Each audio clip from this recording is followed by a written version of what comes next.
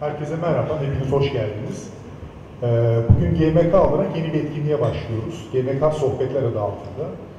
Ee, Amacımız mesleğin önde gelen, e, yani bir diğer tabirle ustalarını davet etmek ve onların hem mesleki e, geçmişlerini kendi ağızlarından öğrenmek hem de düşünceleri öğreneceğimiz bir platform yaratmak. Ee, bu biraz daha farklı bir etkinlik olacak. Şöyle ki genelde e, grafik tasarımcılar ya da reklamcılar davet edildiği zaman bir iş sunumu, bir prezentasyon beklenir. Bunda olmayacak o. Daha çok Baypol'ün e, düşünceleri ve mesleki geçmişi üzerine yoğunlaşacağız. E, konumuz Paul Macmillan. Yani onu zaten uzun uzun sunmama gerek yok. Hani sektörde olanlar, hani çoğumuz zaten onun hem ismini hem de yaptığı işleri biliyoruz. E, kendisi projeyi ilk duyduğu andan itibaren büyük bir e, ya- yaklaşım yani büyük bir hevesle ve heyecanla yaklaştı. Ee, ve bu kadar işinin gücünün arasında bize vakit ayırdı. Bunun için ona öncelikle çok teşekkür ederim GMK adına.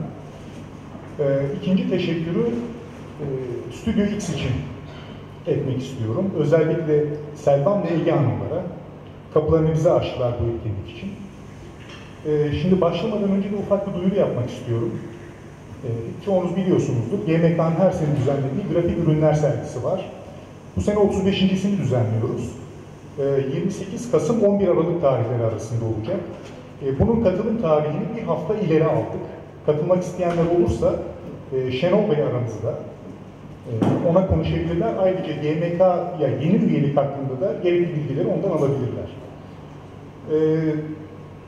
Sohbetimiz esnasında bir sorunuz olduğu zaman Baykol'e lütfen elinizi kaldırırsanız mikrofonu size uzatalım. Yani karşılıklı bir diyalog olsun istiyoruz. Peki lafı fazla uzatmadan size döneyim isterseniz. Ee, öncelikle sizi tanıyalım çünkü hani herkes sizin hakkınızda farklı bir şey söylüyor. Yani tam net bir e, mesleki geçmişiniz, hayat şeyinizi bilmiyoruz. Dolayısıyla öncelikle başlayalım. Eğitim hayatınız. Nasıl başladınız? Size çünkü fotoğrafçı olarak bilenler var, reklamcı olarak bilenler. Yani orası biraz karışık hakikaten. Evet. Yok yok. Yok, yok, yok. Tanıyor musun? Allah. Yo, bir evet bir hayli karışık. Bir, Hadi zengin. zengin sağ ol çok mersi. Bir şey biraz kendi irademe kurban olayım dedim. Ee, 15 yaşından itibaren hareket halindeyim. Yani İrlanda doğdum. Ve İrlanda'da bizim o zaman da e, büyüklerimiz düşündüler yani bir gelecek yoktu ve göç edelim falan üç tane oğlu vardı. Ve onların istikbal için babam 53 yaşında o karar verdi ve hepimiz cümbür cemaat Amerika'ya gittik. Ve enteresan. Bu dönemde göç eden migrant Yıl He, yıl? Aa, milattan önce bir sürü yıl evvel. Yani şey bakayım. Ee, 60'lar başında. Orada Amerika'da şey bir hayli büyük bir etkinlik üstüme geldi. Yani gerçekten bir etkisi oldu. Ee, bu etkisi bu arada görmemezlikten geliyorum. Çünkü Amerika o Amerika değil. Benim şansım o dönemde. Yani şunu söyleyeyim, benim dönemde Woodstock vardı. Ben gittim. Çünkü vardı. Ondan sonra efendim Jimi Hendrix okulun yanında Fillmore East'e geliyordu. Onu gittik. Andy Warhol Factory'si. Onda geldik. O sonrasında.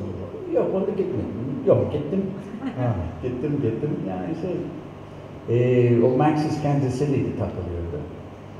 Eee, o dönem çok in- ilginç bir dönemdi. Gerçekten bir dönem. 68'li jenerasyon. Ben o yılda şey Cooper Union'dan mezun oldum. Eee, o sıralarda ilk şirketimi açtım. 18 yaşında ilk şirketimi açtım. Paul Macmillan Associates. Şey, üstünde şey yazıyordu, antetli kağıtımız vardı, çok iftihar ediyordu çünkü resmiyetimiz böyle. e, şey yazıyordu. Paul McMillan Associates. Generally available at.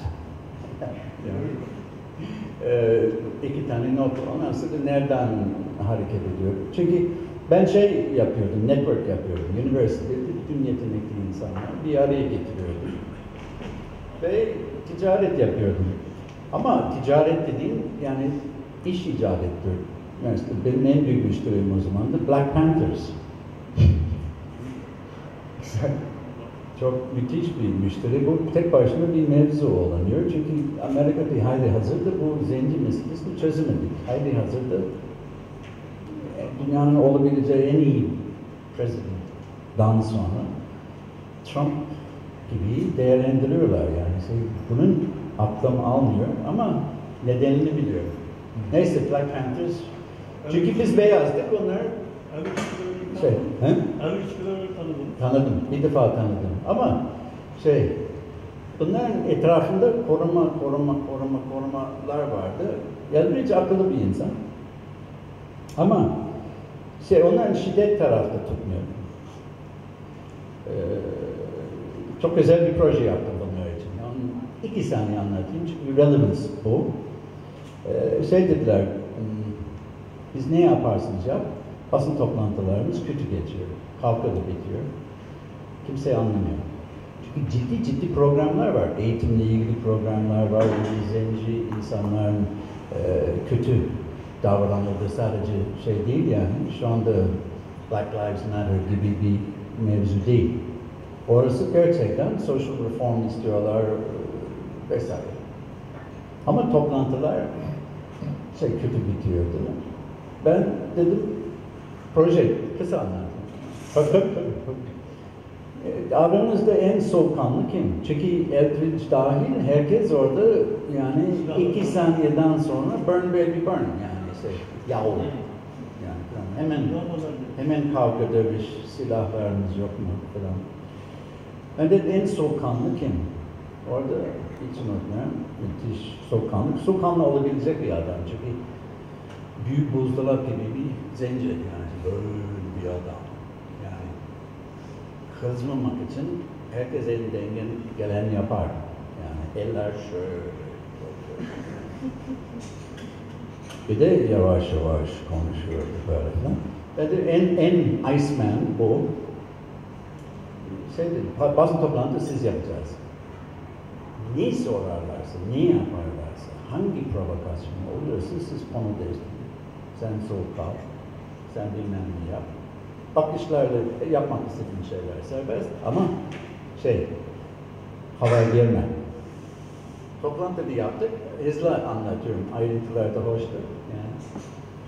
Ondan sonra toplantı, basın geldi ve her zaman bu e, sadece toplantıdan haber çıkaracaklar. Kavga oldu, böyle oldu, geri konuşmalar falan. Ondan sonra şey, bizimki şey, Leroy Swain ismi. Leroy Swain. Ondan sonra basın toplantı müthiş yaptı. Bitirdi.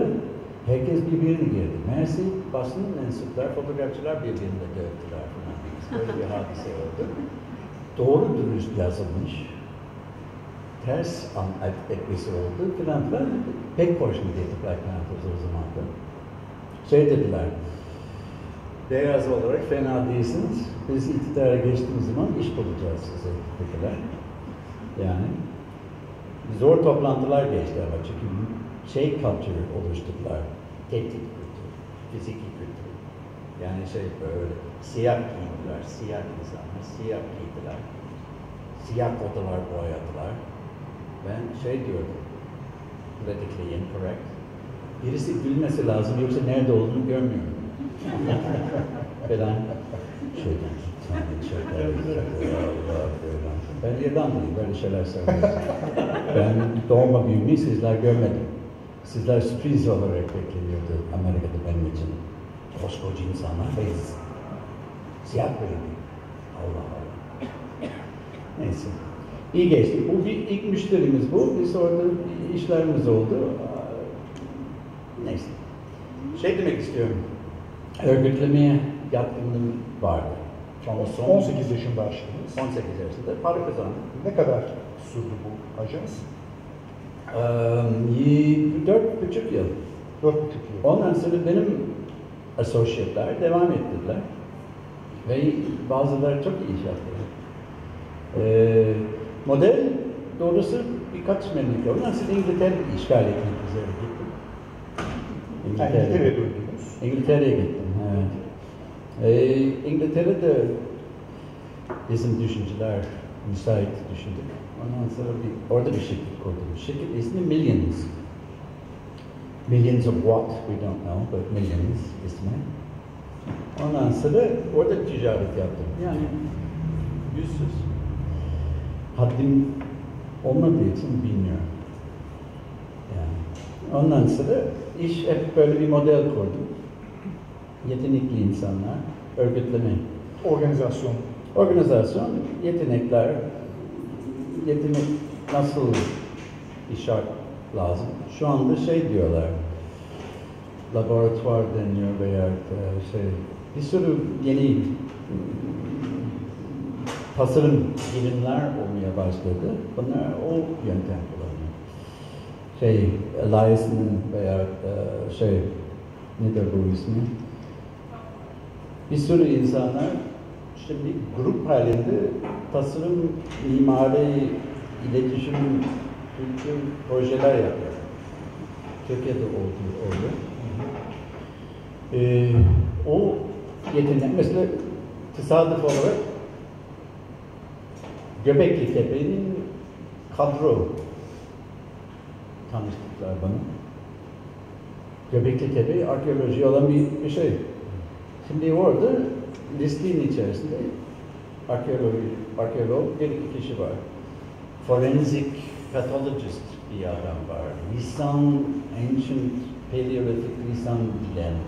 Efendim yani şey, encryptologist, efendim bilmem ne, malzeme, efendim biyokimyacı, böyle bir grup. Şimdi iki şey var bu işte.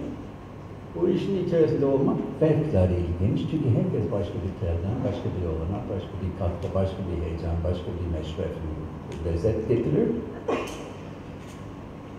Örnek tasarım olması gerektiğini düşünüyorum. Yani işte tasarımcılar birbirine takılıyor veya iPad'lar da takılıyor. Yani biraz grup halinde faaliyet yapmak lazım. Yani benim herhangi bir örnekim varsa veya nasihatli bir dönemdeyiz, onun için nasihat yapmak istemiyorum. Ee, herkes nasihat yapıyor, haddin haddinsiz. Ben sadece görüşüm olarak yani şey networking dönemindeyiz ve kesinlikle böyle. Tasarım böyle bir şey. Benim kariyerim aşağı yukarı böyle oldu. İngiltere'de ne kadar kaldınız? Yeterince yani işte bunlar terbiye gider. Yani bunlar bunlar biliyorsunuz İrlandalılar neden yaratılmış? Ee, İngilizler kontrol etmek için. O bir bilimsel gerçek. Antropolojik bir gerçek. Biz olmasaydı bu İngilizler ne başımıza bela olacak bilmiyorum. Neyse, öyle bir görevimiz var. Var var. Ve İngiltere, ondan sonra biraz Avrupa biraz bulaştı. Fransızlar ama hak etmedi bu kadar ilgi, düşündüm. Çünkü onlar Fransız.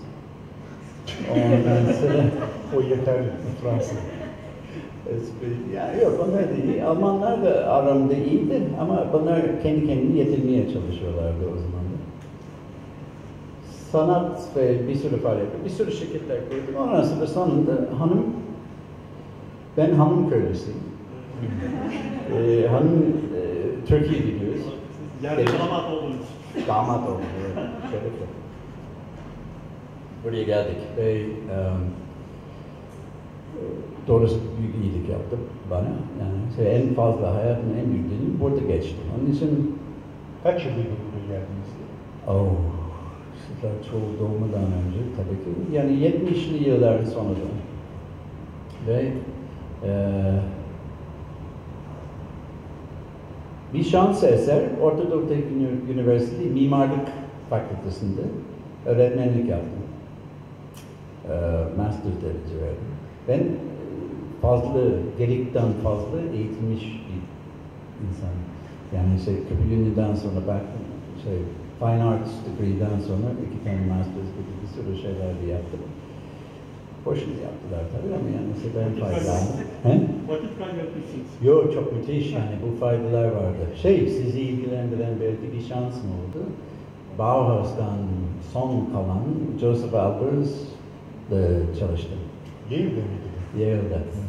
Şimdi Joseph Albers bilen, varsa bilmeyen. Çünkü bu şey Rönesans dönemi yakın. Yani sizler için. Eee Albers color theorist ve onun arkadaşlar, onunla konuşmak da çok ilginçti. O, onun yakın arkadaşları Paul Klee, Vasily Kandinsky falan.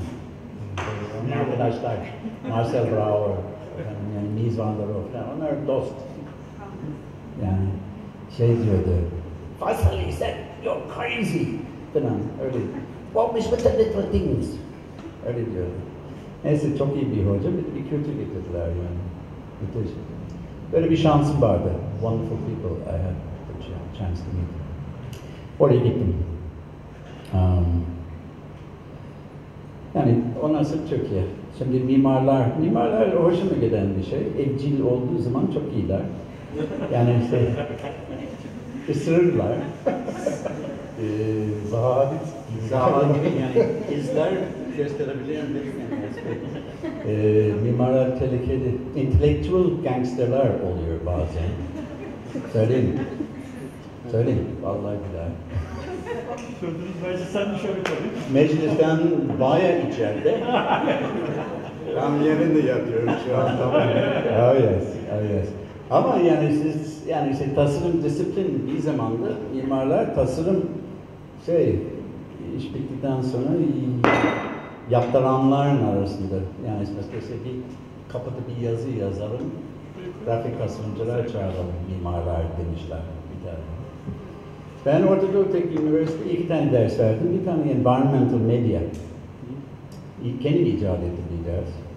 O zaman da bayağı avantgard bir yerdi. Yani Communicating Through Environment. Siz Yale'de mimarlık master'ı yaptınız değil mi? Bölüm. Değil, master yok şey, e, psychology'nin üzerine master. Perceptual psychology. Yani ben öyle diyorum yani. Tabii hocalar başka türlü ifade ediliyorlar. Kendim icat ettim. Yani kendi yol seçtim. Ee, eğitim varsa, yani benim tavsiyem yani üniversitenin içerisinde uluslararası platformda ne kadar kalabilirsiniz kal. Yani it's a free ride, it's fantastic. University life, my God. Keep going, keep going. Neyse. İlk Ankara'ya geldiniz ODTÜ'ye o zaman. Öğretim Evet, olarak. evet, evet. Ve orada ne kadar çalıştınız? İki buçuk sene Orta Doğu Teknik Üniversitesi'de çalıştım ve müteşekkirim, çok müteşekkirim Ankara. Hem Ankara, o zaman da Ankara başka bir Ankara. Ve Türkiye başka bir Türkiye. Gerçekten. Tabii Bauhaus bir şehir olduğu için yabancılık çekmemişsiniz. Bayağı Onu çektim gene de ama şey, Bauhaus yani. Neyse. Ee, bazı mimari projeler, ya Bauhaus yani bir virüstü. Yani işte dünya işgali. Burroughs, çok güzel bir cümlesi var Burroughs'un. Şey diyor, language is a virus from outer space. Yani işte uzaydan gelen bir virüs, lisandır. Ee, mimarlar bu virüs iyi kullanıyor. Biz e, Orta Doğu Teknik Üniversitesi Mimarlık Fakültesi'nde benim Türkiye oryantasyon tekabül etti. Yani ve it couldn't be better. Yani şey orada o zaman o dönemde hareketli, düşünce, efendim yani şey e, proto proto gezi kültürü falan vardı. E, haberi bizim üniversitede işgal edildi, bilmem ne falan oldu vesaire. Çok heyecan verici. E, bir gün fakülteye gidiyor. Biliyorsun orada fakülte, fakülte, fakülte. Gayet large peysaj mimari vardı. Ondan sonra bir gün oraya gidiyor. Mersi askerler girdi. Ee, jandarma veya asker hangisinde tanıyorum? Askerdi. Benim bir yol böyle gidiyor, fakülteye doğru gidiyor. Benim bir döşevo arabam var, döşevo siz. Yani şey, araba yani çimen kesen makine gibi bir şey ama araba deniyor. Böyle bir şey tapı tapı tapı gidiyordum. Dünya geziyordum ben. Orayı geliyordum yani ise araba yani ise el, yani ben elde yerde, yerde bir yapabiliyordum araba. Yani şey plak düşüyordu araba. Öyle bir araba. Neyse bunun geldiği için yüzlerce talebe böyle üstümüzden geçti ve geçti. Arkasından 50 tane asker geldi ve durdu benim arabanın etrafında ve arkasında sakladılar. Ve tabancalar da bu talebelerin peşine geldiler. Tabii ki müthiş koruyacak onlar benim arabam. Yani elle indirilince. Neyse ben indim. Maalesef kapı yani büyük bir havalı kapatmaya çalıştım. Benim kapım, arabanın kapısı şey gibi. Screen door'lar var yani işte böyle pıtı pıtı pıtı pıtı pıtı. Pek de bir tavır olmadı. Neyse böyle durdum. Falan. Orada bir adam duruyor diyor ki aşağı in aşağı in. Sanki ateş gelecek karşı tarafta. Ben dedim sen kalk. Ne demek falan filan. Ben ilerleyeceğim bilmem ne falan. Neyse dedim ben o zaman da Türkçem bu mükemmel dolmuş şoför düzeyinde değildi. Ee, o zaman da normal şey düzeyindeydi. Ve şey e, devam ettim. Sonra geldiler bir teğmen ve iki asker beni tutuklamak için falan.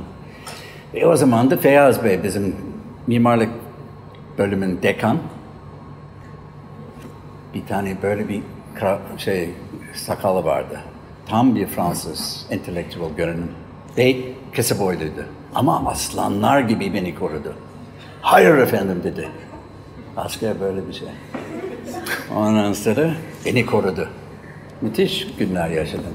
Neyse benim o günlerde Türkiye başka türlü ve Türkiye'nin creative energy desem, bugün ondan bahsetsem bir tuhaf oluyor. Ama energy vardı. Şu anda bizim arkadaşlarımız inkar etmek üzere bu energy. Ee, ben biliyorum çünkü konuşuyorum. Şey bir e, kızmış bir jenerasyonumuz var. Haklı olarak yani şey. Haklısınız. Yani küstü. Topumu alacağım, evime geleceğim gibi bir haliniz oluyor. Genel kültür camiada. Söylüyorum yani siz de en fikir olmayabilirsiniz. Ama genellikle böyle engagement adına. O zaman da yoktu. Herkes engaged. Herkes orada bambaşka bir şey. Ee, ve orada çok öğrendim. Çok şey öğrendim. Çok çok. Ondan sonra İstanbul'a geldik. Çünkü hanım İstanbul'a gelmek istiyordu. Biz 80'lerin başı herhalde değil mi? Evet, evet. Ve ondan sonra biraz, ha İstanbul. Kültür tamamen Cumhuriyet aydınlarımızın elindeydi. Cumhuriyet aydınlarımızın kastettiğim ne olduğunu biliyorsunuz değil mi? Ne? Merak ediyorum. Çünkü yok oldular. Espri. Ee, yok var ama biraz underground oldular. Ee, bütün o müze yapanlar, efendim bütün o şey parkta bankolar yapanlar falan eğitim öyle düşünceler Cumhuriyet aydınlarımızdan geldi. O dönemde gördük. Enteresan bir dönem başladı ve ha dedim bir şirket kurayım. Tam bir ortam buldum. Nüfus ettim gene de. Ondan sonra ilk kurduğum şirket o dönemde İmaj. İmaj bir film şirketi. Ve İmaj, ben teleskop yapıyorum çünkü esasında Tabii, insanın tabii, tabii. hayatta biraz sıkıcı oluyor. Ben böyle küçük şeyler anlatıyorum. İmajı kurduk. İmaj ilk stüdyo ve yapım evi gibi bir şeydi. Hali hazırda devam ediyor. Cemal Noyan. Onu soracaktım. O halihazırda devam eden imajı mı? İmaj evet evet ben koruyacağım. Ve eee oh, filmler çektik. Yani o, o zamanlarda ne keyifli günler. Ondan sonra anladım ben reklam sektör zafiyeti var. Bir ajans kurmak zamanı geldi. O zaman RPM kurduk Füsun Gençler'le beraber. Ve belki müttefik olarak hayatımın en akıllı iş olarak yani Füsun Hanım'la beraber şu hali hazırda benim ortağım ve e, sektörle bilgi açısından yani işte daha bilgili insan tanımıyorum. O reklamcılık yapıyordu herhalde değil mi siz? Tabii tabii önce? tabii ama yönetim yapıyordu. Yani şey bu çünkü reklam bir segmenttir bir de bir şey yani business model.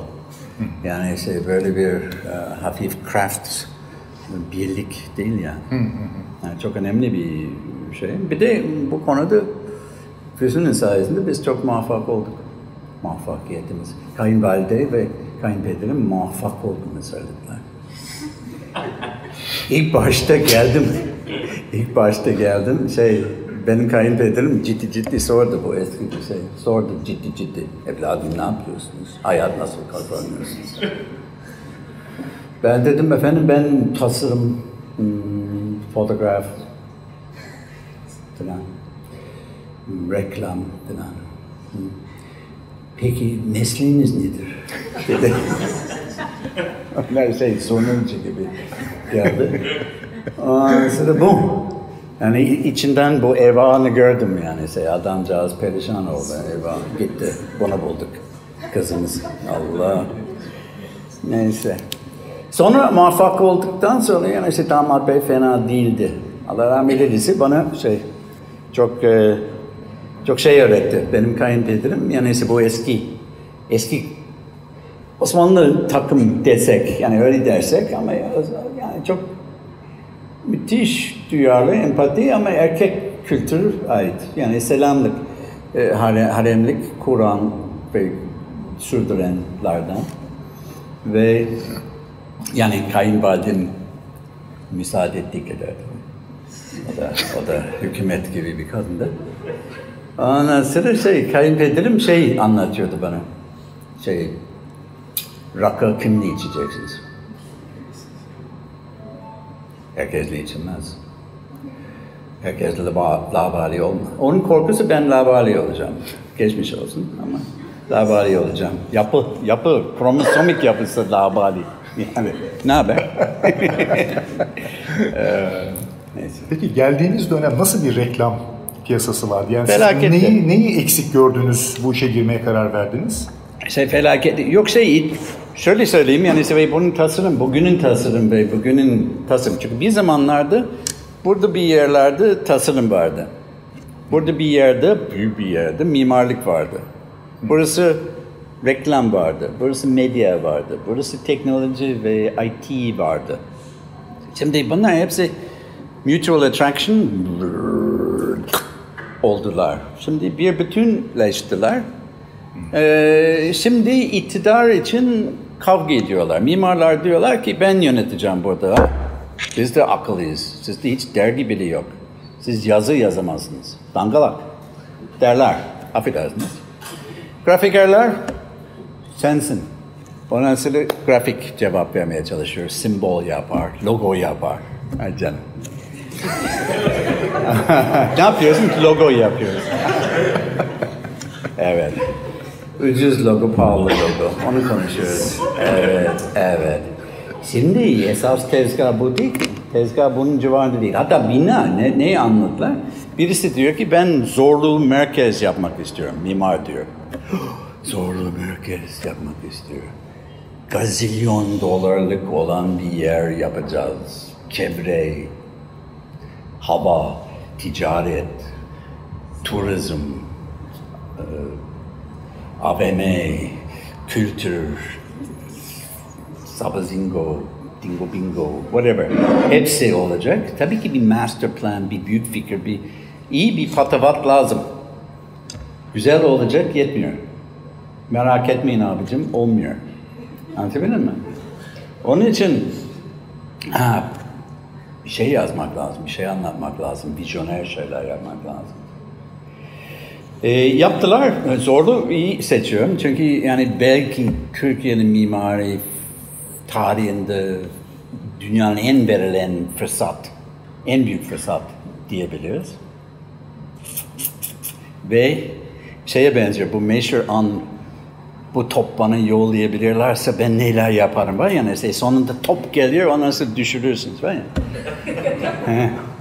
Zorlu Center böyle bir şey. Şimdi orada toplu konut gibi bir şey yaptılar orada. Dört tane dikdörtgen bina birbirine bakıyor. Cephesi yok, çevresi yok. Hiçbir şey yok. Böyle bir bina. İçinde insanlar geziyor. Gucci'ye bakıyor. Dışarıda haydi hazırda ısıtma aletler koyuyorlar. Çünkü insan sıkıntı içiyor bu sefer. Böyle bir durum. Mimari mi bu? Bak böyle söyleyebilirim çünkü mimar değilim. ne haber? Şimdi haberi mimar arkadaşlarım mesela orada uu, ağız mı çekti benden bu arkadaşlar. Ukulalık değil bu.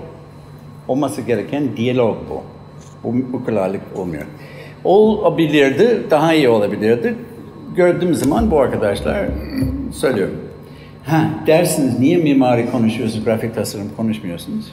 Orası branding eleman gören oldu mu? environmental olan katkı olabilecek grafik anlatım, efendim yani şey, bir grafik anlatım soyutlanmak gerekirse, efendim çevre, environmental açısından içinde ne var, ne yok falan filan. Şimdi bu konularda ben şahsi fikrimi söyleyeyim. Yani tasarımın yakın gelecek. Yani şu anda bir model bitmek üzere. Bu model reklam ajanslar. Hı hı. Reklam ajanslar bir arada para kazanmış olan birimler. Ondan sonra bir parça bir drama oldu. Medya şirketler ayrıtılmış. O uzun bir öykü. Hı hı.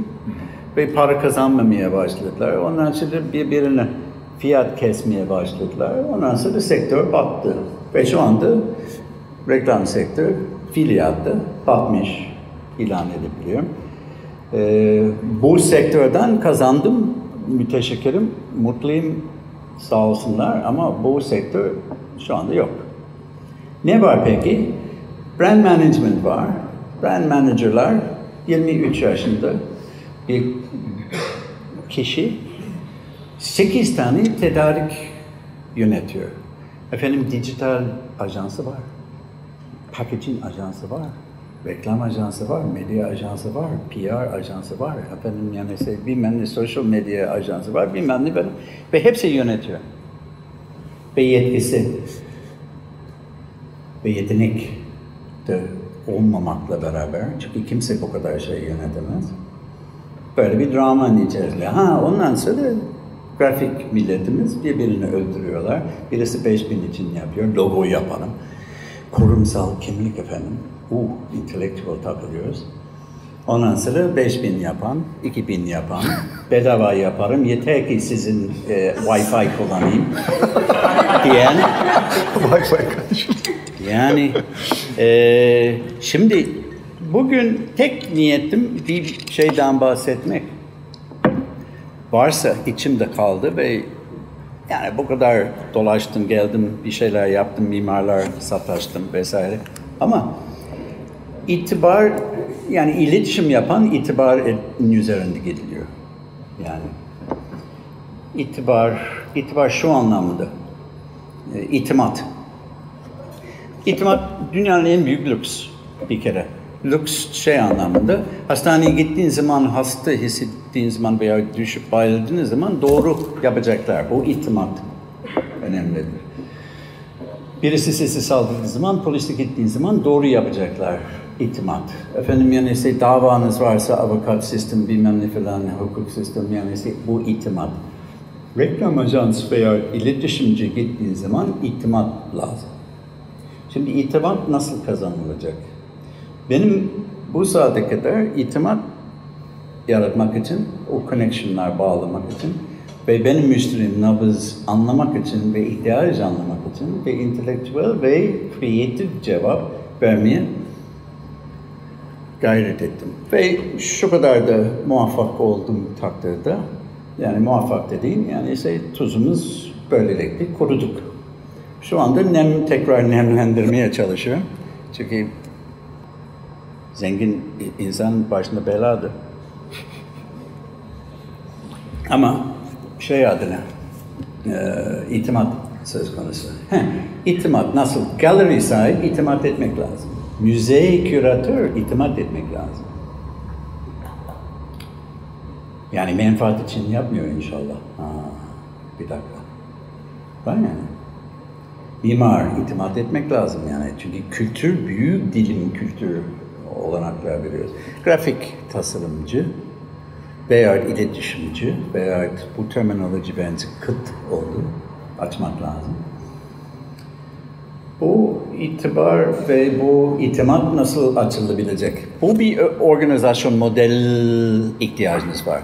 İşte tavsiyem şu, ee, ve İngiltere'de bunu görüyorum. Şu anda yeni açtığımız bizim nihai şirketin adı Macmillan Gençsu.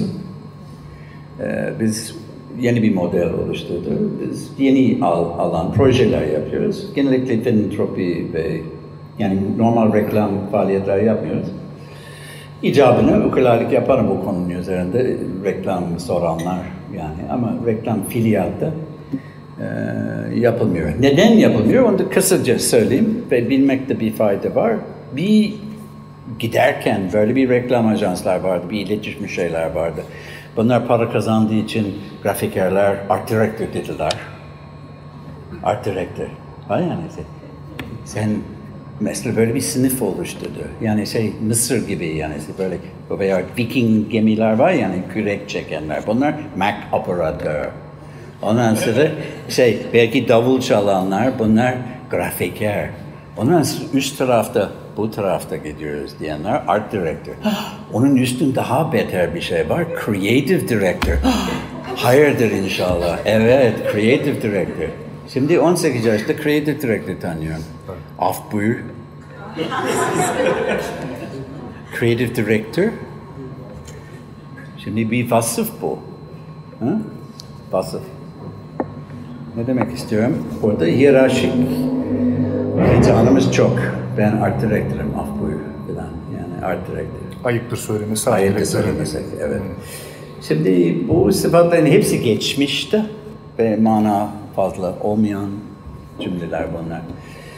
Şimdi bir projeyi gerçekleştirmek için, bir şey oluşturduğum için, şöyle bir örnek de vereceğim bu arada. Misal olarak yani işte Turner Prize geçen yıl kazanan sanat prize biliyorsunuz.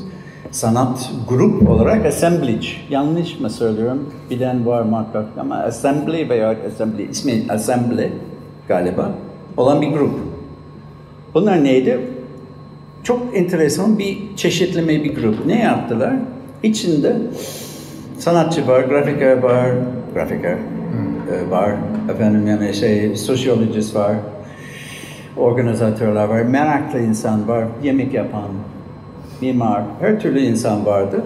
Glasgow'un bir semt, bir bölge çok düşmüş, çok şey, itidaileşmiş, her şey çalışmıyor, hiçbir şey yani e, yetişmedi olan bir yer.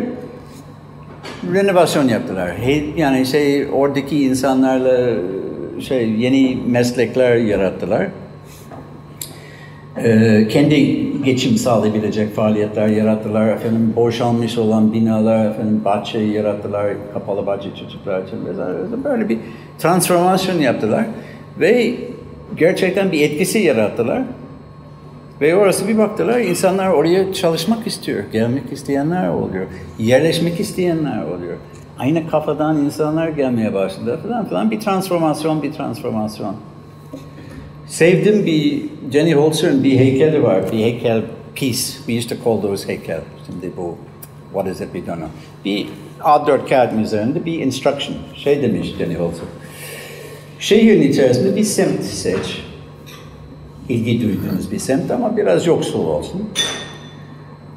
Bir köşe seç. İnsanların pek gezdiği olan bir yer. Oradan geçiyor çok düzenli bir şekilde mesela bir salı akşam belirgin bir saatte ama şaşmayacak bir şekilde yemek bırak orada. Ama istikrarlı bırak. Ve her salı akşam bu saatte bırak. Devam et bırakmaya. Gelen kişiler arkadaşlık et. Arkadaşlık kur. Heykel bu. Düşünce bu. Şimdi bu model olabilir. Bak bu diyeceksin. Hmm, model olabilir. Şimdi şu anda iki büyük tehlikemiz var. Sizin tasarım dünyanın en büyük tehlikeli bana sorarsınız. Ben korkunç kulağım bugün. Çünkü böyle Zev ismim yazdılar orada. Şişti kafam. Yani şimdi neler söylüyorum ya. Olan kendine kendine gel. Neyse. Espri. Şey, filter bubbles. Filter bubbles. Biliyor musunuz bu meselesi? Filter bubbles. Okey. Bence tasarımın en büyük felaket ve daha doğrusu kültürün en büyük felaket. Filter bubbles bunlar. Facebook'un yapısı biliyorsunuz. Facebook'un içerisinde kendi sayfasında kendi arkadaşlar, kendi ilan ettiğiniz, gösterdiğiniz şeyler. Yani sizin orada ideal, kıskanacak olan bir dünya kürasyon yapıyorsunuz. Facebook bu. Değil mi? Bütün arkadaşlarınız şık, seksi ve hoş. Siz çılgın gibi eğleniyorsunuz. Ne güzel şeyler yiyor- yiyorsunuz. Siz de güzelsiniz. Yani. Ve böyle bir hayat var. Allah Allah. Ne güzel. Beyan altın üzerinde kişisel. Yayınladığınız fotoğraflar yani işte Instagram'da vesaire. Onda yansıtma yapıyor. Ayol biz oraya gittik, biz orası çok seviyoruz. Falan. Ve böyle bir şey yapılıyor. Şimdi bu fantezi vallahi billahi biz çılgın gibi mutluyuz ve tabii özel hayatınız da yani angst ve yani cilet aramakla geçiyor. Yani o ayrı. Batsın bu dünya, bitsin bu rüya. Orhan Gencebay sağ olsun. Ama biz orada haşır neşir hepimiz güzeliz.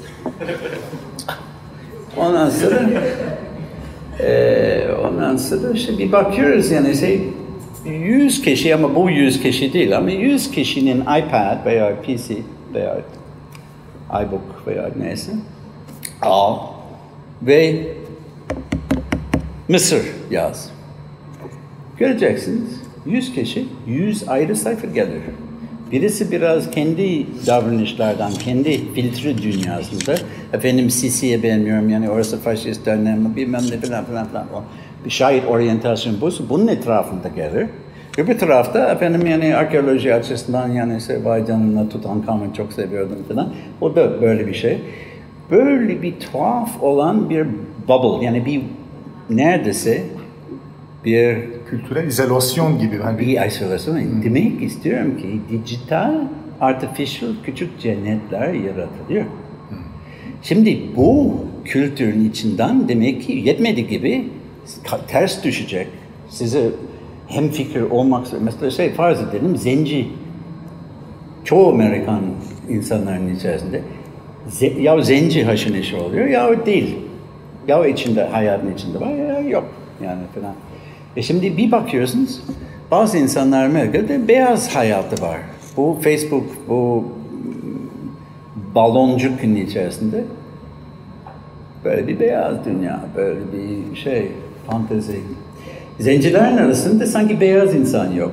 Arada sırada böyle bir tane getiriyorlar, okşuyorlar, ondan sonra gönderiyorlar. Yani şey gibi. Şimdi biz şu anda e, gayri kültürel, gayri ilitken, gayri efendim yani şey paylaşım bir bazı eğilimlerimiz var. Ha, bunun tersine bir araya gelmek, dostlarla bir araya gelmek. Efendim yani şey Ayvalık'a gidelim ayo. Kaş çok seviyorum. Efendim fantezi besliyoruz. Biz orada çalışabiliyoruz. Ve uzaktan tasarım yapabiliyoruz. Kaş'ta. Ya. Kaş'ta ne yapacaksın ben sana söyleyeyim. Balık yiyeceksin. Yani. Şimdi bu fanteziler bizim meslek yiyor. Özet bu.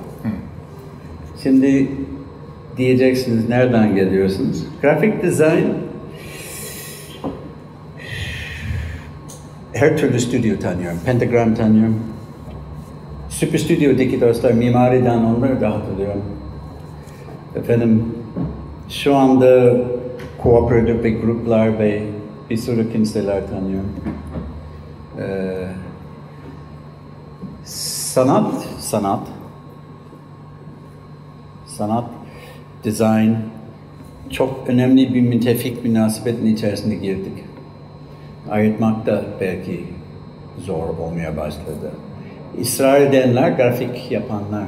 Çünkü böyle bir zanaatkarlık bir şey yapmak istiyor. Ne yapıyorsunuz? Dalga geçiyorum. Espri'nin içerisinde ciddi bir şeyler söylüyorum. Yani mesela logo yaptık. Logo yaptık. Genellikle yapılan logolar ben sana söyleyeyim karton logolar. Böyle logolar. Flat. A4. A4. Sol üst köşe istiyor veya sağ alt köşe istiyor. Logolar. Logo bugünün dijital dünyasında dans etmeye bilmek lazım. Şarkı söylemeyi bilmek lazım. Her türlü elektronik veya dijital ortam müsait olması lazım. Transformasyona müsait olması lazım. Logo bu. Böyle bir alameti farika. Biz İHA Lucy. Bengü Ertel rahmetli. Logo. Bu dönem bitti arkadaşlar. Bu dönem yapmak da bitti. Bu tezgah açmış, logo satılıyor, sıcaktır. Lokum gibi. Yani ne tezgahımız varsa bu dünyada şey kendimizi ihanet ediyoruz. Yani şunu da söylüyorum. Tasarım artık communication platform oluşturmak, insan hitap edebilmek, içine ilgilendirmek. Brand, kültürler nasıl inşa edilebilir, nasıl bir şey. Samimiyet her zamandan çok daha önemli olmaya başladı. Her zamandan. Ee, biz post narcissist, post aggression, post egoist, post capitalist, post demokratik neredeyse bir döneme doğru gidiyoruz. Allah korusun. Şimdi hızlı oluşuyor. Tarih korkunç hızlı oluşuyor. Onun için tasarımcılar çok önemli bir görev düşüyor. Bir mana veya bir kültürel bir referans, bir içerik yaratmakla meşgulüz.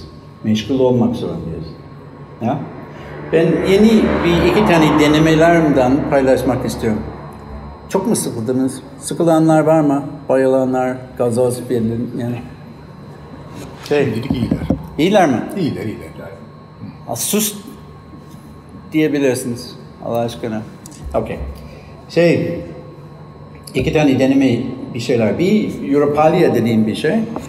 Ee, bir sene evvel bir proje, bir buçuk sene evvel bir proje e, Brüksel'de cereyan etti. Memleket olarak Türkiye davet ettiler. İKSB bir parça içinde vardı ama tam üstlenmemiş.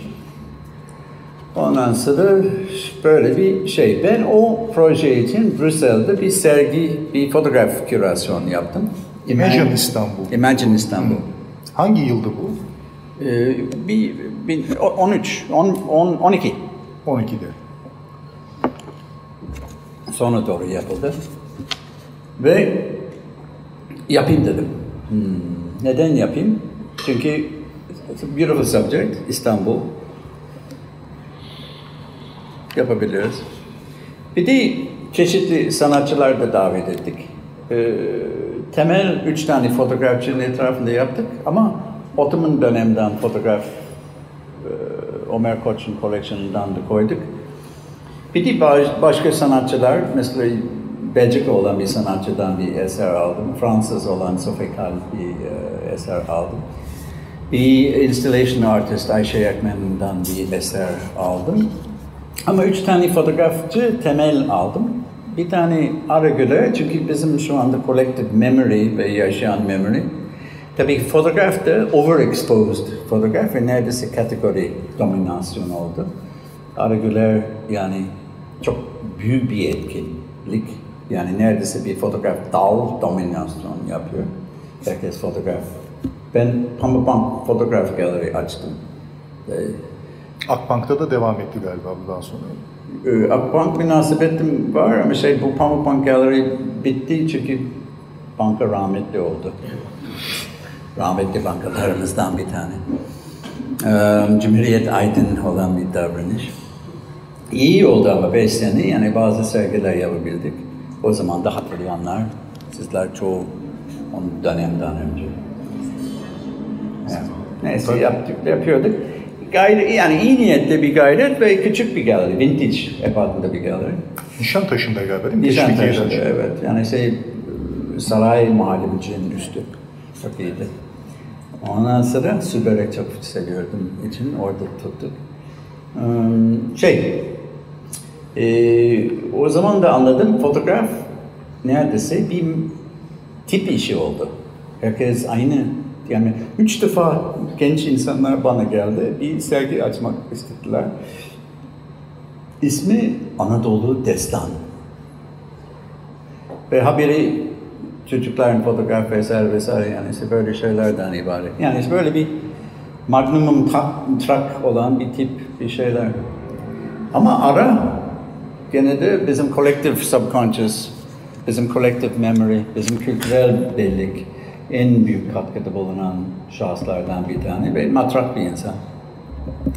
Ee, bir şey anlatayım mı onun hakkında? Her zaman Arap'tan bahsetmekte bir fayda var. Ara enteresan bir fenomen. Yani şeye benziyor yani Manavgat gibi bir şey. Yani bir doğal harika gibi bir şey. Eskiden televizyonda durduğu zaman Manavgat'ın fotoğraf çıkıyordu. Hatırlıyor musun? evet. Şimdi ben bir Ottoman Bank, Osmanlı Bankı'nın son tanıtım ben yapıyordum o zaman. Ee, ara abiye gittim. Şey dedim, bu e, yılbaşı Fransız genel müdür olarak yani bir hediye vermek istiyor. Bütün önemli müşteriler bir hediye. E, bir limited edition fotoğraf ikna ettim. Sizin fotoğraflardan ama yüksek miktarda bir edition söz konusu.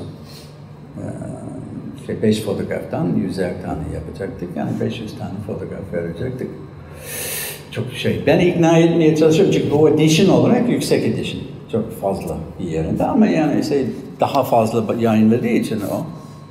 Ben onun itiraz edecek de zannettim. Onun için ikna etmeye çalışıyorum. Ben diyeceğim bak Türkiye'nin 500 tane en önemli adamın eline geçecek bu. Ve çok da önemli bir şekilde geçecek. Şey dedi bana. Bolcum, yorma kendini. Türkiye'de 500 tane adam olsaydı bu bokun içinde olmazdı. Dedi. Affedersiniz. O, o söyledi. Ben sadece röportaj yaptım. Ya 5-6 tane adamınız var. Bunu hepsi tanıyorum. Kaç para onu söyle. Falan. Espri olur. Ara çok önemli bir eser. Yani bilmekte yani bir radical gene. Yani say, it's a radical gene. And his work is important. It's very important. Ama bakmaya şey biraz eski Orhan Pamuk bilmem ne tarihi efendim İstanbul efendim yani falan bu nostalji olan filtreler filtreler filtreler atmak lazım o iş görebilmek için tekrar. Neyse böyle bir fotoğrafçımız var. Ali Taptık ikinci fotoğrafçımız ve bence fevkalade iyi bir yetenek. O da mimar. Ama ona rağmen çok da önemli bir environmental olan bir içerisinde bir sanatçı ve onun şey ve Ahmet Polat bir fotoğrafçı. Bu üç tane ana fotoğrafçı. Etrafında bir sergi yaptık. Sergi de önemliydi. Yani bizim orada bilmesi gereken İstanbul'la ilgili bir boyut. Bilmek belki daha zor bilmek Ali'nin işler bilenler yani şey, o perspektif İstanbul'un başka türlü oluyor. Ahmet'in başka türlü oluyor. Yani o dönemde o şey bir de bunun bir proje olarak onun sonunda bir kitap oldu. Bir arada olmak istemediler. Mesela şey ara Ali ve Ahmet işler beğenmiyor. Bir de karşılıklı. Onun için kitap da yaptığımız zaman yani şey üç ayrı kitap yaptık. Birbirine ayağını basmasın falan. Neyse bu proje kültürel ifade olarak yani ise enteresan bir ben bu proje A'dan Z yaptık yani yazılar, Orhan Pamuk'a gittik konuştuk, film çektik, film e, yaptık. E, her odanda serginin içinde e, şey Ara abi konuşuyor, Or, Orhan Pamuk konuşuyor vesaire vesaire. Yani e, etkileyici diyelim.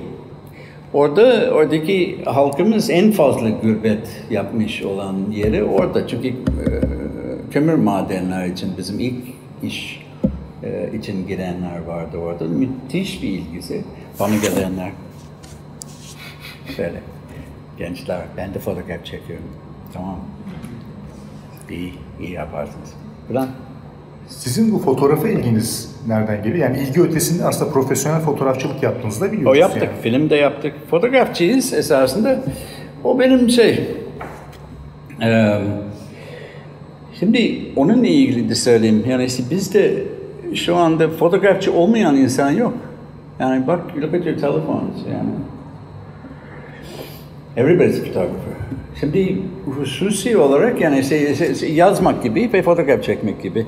Ben sadece fotoğraf makam tuhaflaştı. Ee, onun fotoğraf sergi, iyi bir fotoğraf sergi nasıl olmalı onu da tam olarak bu arada tartışmak lazım. Çünkü biraz şey oldu, biraz Instagram eski şeyler karışmış, müze vesaire bir sürü şeyler karışmış. Yani fotoğraf dal olarak çok karışık. Çünkü it's universal dal oldu. Onun için çok enteresan. Çok enteresan. Ee, real time kültür belge cereyan ediyor fotoğrafta. Dikkat ederseniz Amerika'da kim vuruluyorsa çekim var, fotoğraf var. Enteresan. Yani hangi zenci vurulmuşsa yani bir film yapılır. Enteresandır. Şimdi yeni bir proje, yeni yaptım, yeni döndüm. Geçen hafta içindeydim. Tasarımın içinde, şey İKSV için Londra ilk tasarım bienal bir proje İKSV yüklediler. İKSV bana itimat ettiler bu konuda. I don't know what they were, yani belki, belki şey, zayıf bir an yakaladı bunlar belki. Ondan sonra üstlendim ve iki tane çok iyi bir jüri oluşturduk. Yani e, Koray Malhan, tanıyorsunuz bilmiyorum, tasarım Koleksiyon olarak, mu? koleksiyondaki. E, müthiş bir tasarımcı, bir de kafası fevkalade çalışıyor. Bir de Zehra, benim Zeyze. Biz bir ekip kurduk, biz şey komisyon ettik, um, otoban bir proje yapmak.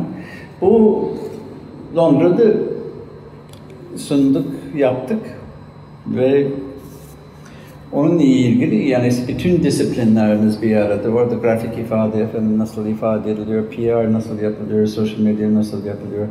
Yani tasarım orada 360 derece bir, bir şeyin içerisinde. Çok da iyi mi yaptı bilmiyorum. Çünkü Biennale'de kendisi biraz dandik geldi bana. Yani Londra yani. şey, e, Bienal yapmak da zor. Neden şey orada yönetici şey dedi, neden iki yılda bir yapıyorlar anladım şimdi dedi. çok zor. Ee, burada bir tasarım Bienal çok daha önce başladı biliyorsunuz. İKSV'nin himayesinde. Ve bence en azından bir araştırma model olarak çok da iyi ilerliyor. Outreach olarak biraz bilen bilir ve kendi meşref hitap ediyor. Ama onun ötesinde belki biraz daha outreach yapması lazım. Biraz Türkiye'nin geri kalan kısmı biraz e, ihmal ediyoruz gibi geliyor bana. Ama bu konuda herkesin kişisel görüşüne tabidir. Ama bu iki tane yeni yakın projelerin içindeydim. Yani şunu da söyleyeyim, e, grafik, sırf grafikten bahsetsek kaç el görebilir miyim? Grafik tasarımcı öz olarak yani şey, kendini tarif eden kaç kişi var? Hı hı. Mimar? Eyvah, bunlar varmış. Okey. Okey. Dikkatimi çekerim. Düzeltiyorum kendime. Canım. Ee, en yakın tutmak gereken millet mimarlar. Teknolojistler, coding yapan. Kod, kod yapan bilen var mı? Aranızda. Kod, coding. MIT'de tasarım okuyacaksınız ya coding yapacaksınız. Kod. Yani gençsiniz ya niye öğrenmiyorsunuz? Analog musunuz lan? Öğren. Öğren. Türkiye'de iki tane büyük gelenek var tasarımla ilgili. Büyük gelenek. Bir, Hayri Hazreti Süren. Grafik tasarım esasında illüstrasyonun bir branş. Mengü Ertel, Ertel, Yurdeyer, hatta kısmen Bülent Ekmen. İllüstrasyon bazı. Ne demek istiyorum? Illustration is şey, tablo ımtırak. E, temel eğitiminizi hatırlayın. Kolaj, molaj yapmak, resim oluşturmak falan. Tipografi oradan geri kaldı. Bana sorarsınız. Ha? O benim görüşlerim. Bülent şiddetle karşı böyle bir şey söylediği zaman. Ama e, kısmen hak veriyor. Yani biz o şeylerden, e, esprilerden devam ediyoruz. O birinci eğilim ve onun için illüstratör, çünkü illüstratör çalışmak ressam gibi. Yani var yani ressam, resim yapmak. Ee, ikinci eğilim olarak teknoloji. Teknoloji eğitim zayıftı. Eğitim olarak yani zayıf. Ke- keşke daha iyi olabilir. Gene de onun bu kadarlık söyledikten sonra yetenek her şey üstün ve o var. Ve bence bu döneme geldi. Çünkü öyle bir segment bir kıvama geldi. Şu anda Türkiye'nin içerisinde benim görüşüm tasarım genel hatlar itibariyle yani bu mimarlar dahil efendim yani işte bütün çevre, bütün organizasyon, bütün yayın, bütün kültürel etkinlikler, bütün sanat etkinlikler, müzik dahil ediyorum. Bunun hepsi bir pot. Ee, iletişim etrafında sarmak zorundayız. Bunun rol alabilmek, görsel kültürler e, e, sahip olan, grafik temel disiplin olan arkadaşlar çok da önemli bir projeler yapabilir. Çok da önemli bir şey yapabilir. Eskiden bir sergi yapıldığı zaman herhangi bir sergi sergi yapılıyordu, davet yollanıyordu. Galeri arkadaşlarımız zannettiler yani size ılık beyaz şarap veriyorsunuz ve e, açılış yaparsınız. Duvarda asmaktan ibaret. Koleksiyonculuk yani ise zenginlikin ibaresi. Herkes koleksiyoncu olması lazım. Şu anda koleksiyonu oluşturmak için yani şey hiç para alakası yok. Yani sen dünyanın en iyi grafik koleksiyon yapabilirsiniz ve hiç para harcamadan. Ama koleksiyon niyet yani ise bellek ve nosyon oluşturmak. Bu kadarlık gene de geldim ama yani bu çok önemli çünkü commissioning eksik. Commissioning eksik. Ya. Commissioning çok önemli. İKSV'nin tek e, e, ukalalık onlar için, onlar niye niye anlatmayayım? Şey, e, 40. yıl mı neye geldi? Um, orası commissioning eksik. Kronos Quartet var. Kronos, Kronos Quartet. Quartet biliyorsunuz antik olan bir şey. Schubert'ten bu yana değişmeyen olan bir şey her gitti memlekette commission yapıyorlar. Bir eser, quartet için. Böylelikle e, devam ediyorlar. Soru alayım. Herkes biraz hafif oldu. Soru alayım. Soru olan var mı? Peki ben şöyle sorarak devam edeyim. Sizin RPM'de bir Eczacıbaşı ile bir ortaklığınız başladı. Bayağı da uzun soluklu bir ortaklık galiba değil mi bu? Hala da devam ediyor. Ortaklık dediğin hizmet ortaklığı. Hizmet ortaklığı Evet. olarak başladı. Daha sonra İKSV'ye kadar uzanan bir çizgisi var. Gayet. Ee, bunun hakkında neler söylemek istersiniz? İşte benim şansım yani şey, rahmetli Nezar Eczacıbaşı ile çalıştım. O bir birkaç yıl onun danışmanlık yaptım. Ee, gerçekten normal insandan büyük bir insandı. Ee, çok proje yaptı. Yani kendisi e, Cumhuriyet aydınlarının en aydını. Yani fa yani fener gibi bir aydın. Böyle insanlar az bulunuyor artık. Hmm, Onun hizmet verdiğim için iftihar ediyorum ve şey kalıcı olanlar bunlar. Ee, O devam etti. Bülent Bey devam etti. Şakir'le devam etti. Şakir biraz şey, tehlikeli bir ilişkidi. Şakir yani etrafında insanlar yiyebilir. Biraz hafif kültürel yamyamdı.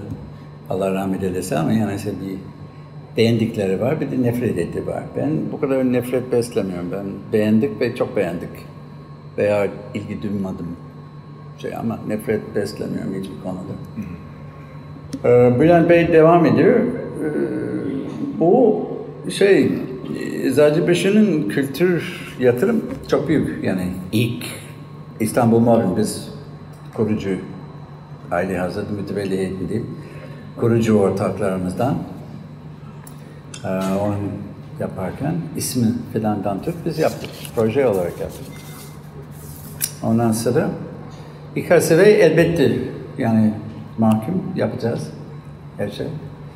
Ee, genelinde Eczacıbaşı ideal müşteri nitelik taşıyor. Çünkü itimat ettiği takdirde iş yaptırıyor. Örnek de vereceğim burada bu itimatın üzerinde çok enteresan bir şey. Küçük Necati Bey belki aydınlatan diyeceksiniz Hamasi olma Paul. Hamasi olmuyorum yani sadece fikir anlatıyorum. Ee, giden aramıyor. Birisi gitti iyi. Yok işte rahatlıyorum yani. Sanki. Şey, e, Necati Bey bir gün bir prezentasyon yapacağız. Çok ağır bir prezentasyon e, ağır prezentasyonlar, çünkü Necati Bey'in eli ağırdı. Yani kızdığı zaman korkacaktın, kaçacaktın. Demin ayaküstü konuşuyordum arkadaşlar. Yani işte dört tane sıfatı vardı bana. Yani işte bir Mr. Macmillan diyordu. Dikkatli olayım. Paul Bey dediği zaman çok dikkatli olayım. Bay Paul dediği zaman ne oluyor? Yani that's okay. Bay Paul çünkü olmuşsun Argo gibi. Neredeyse Bay Paul. Çünkü herkes Bay Paul diyordu. Bir de Paul Efendi vardı. Bu Paul Efendi olduğu zaman memleket terk edeceksiniz. Gideceksiniz. İlk uçak. Direkt gidersiniz. Ve kızdığı zaman. Şimdi bir prezentasyon yapacaktı. Herkes olacaktı. Ama herkes, Şarkı Bey, Bülent Bey, herkes çekiniyordu şey, Necat Bey'den. Çünkü önemli bir mevzu. Okay. İşte biz gittik. Örnek de vereceğim ama yani bu benim beni yontan olan bir şey ama bu ideal müşteri ve nasıl ideal müşteri yaratılır? O önemli olan şey tasarım için. Ee, çünkü iyi tasarım. Ben sizlerden, ben sana bir şey söyleyeyim. Sizlerden inanılmaz, hayatınız en iyi yaptığı tasarım almaya biliyorum nasıl alacağım. Biliyorum. Bir iyi şeyler olan bir kitap dizi yaptım ben. Kendim öyküm bozuyorum ama şey. İyi şeyler nasıl yapıyorum biliyor musunuz? Kitap içerik çok basit inci yüzün çok böyle bir kitap ebat. Şiirler genellikle. Başka kitaplar yaptık. Orada tasarımcılar ve oldu biten kim var kim yoktu verdim. Şöyle verdim. Dedim bak içerik bu. Daha önce yayınlamış kitaplar bunlar. Etrafında konuşalım. Neden bunu yayınlıyoruz? Anlatayım. Cevat Çapan'la galiba kurdunuz değil mi? Cevat Hoca şey o şiirler buluyordu. Yani ben onun alan kendini bıraktım.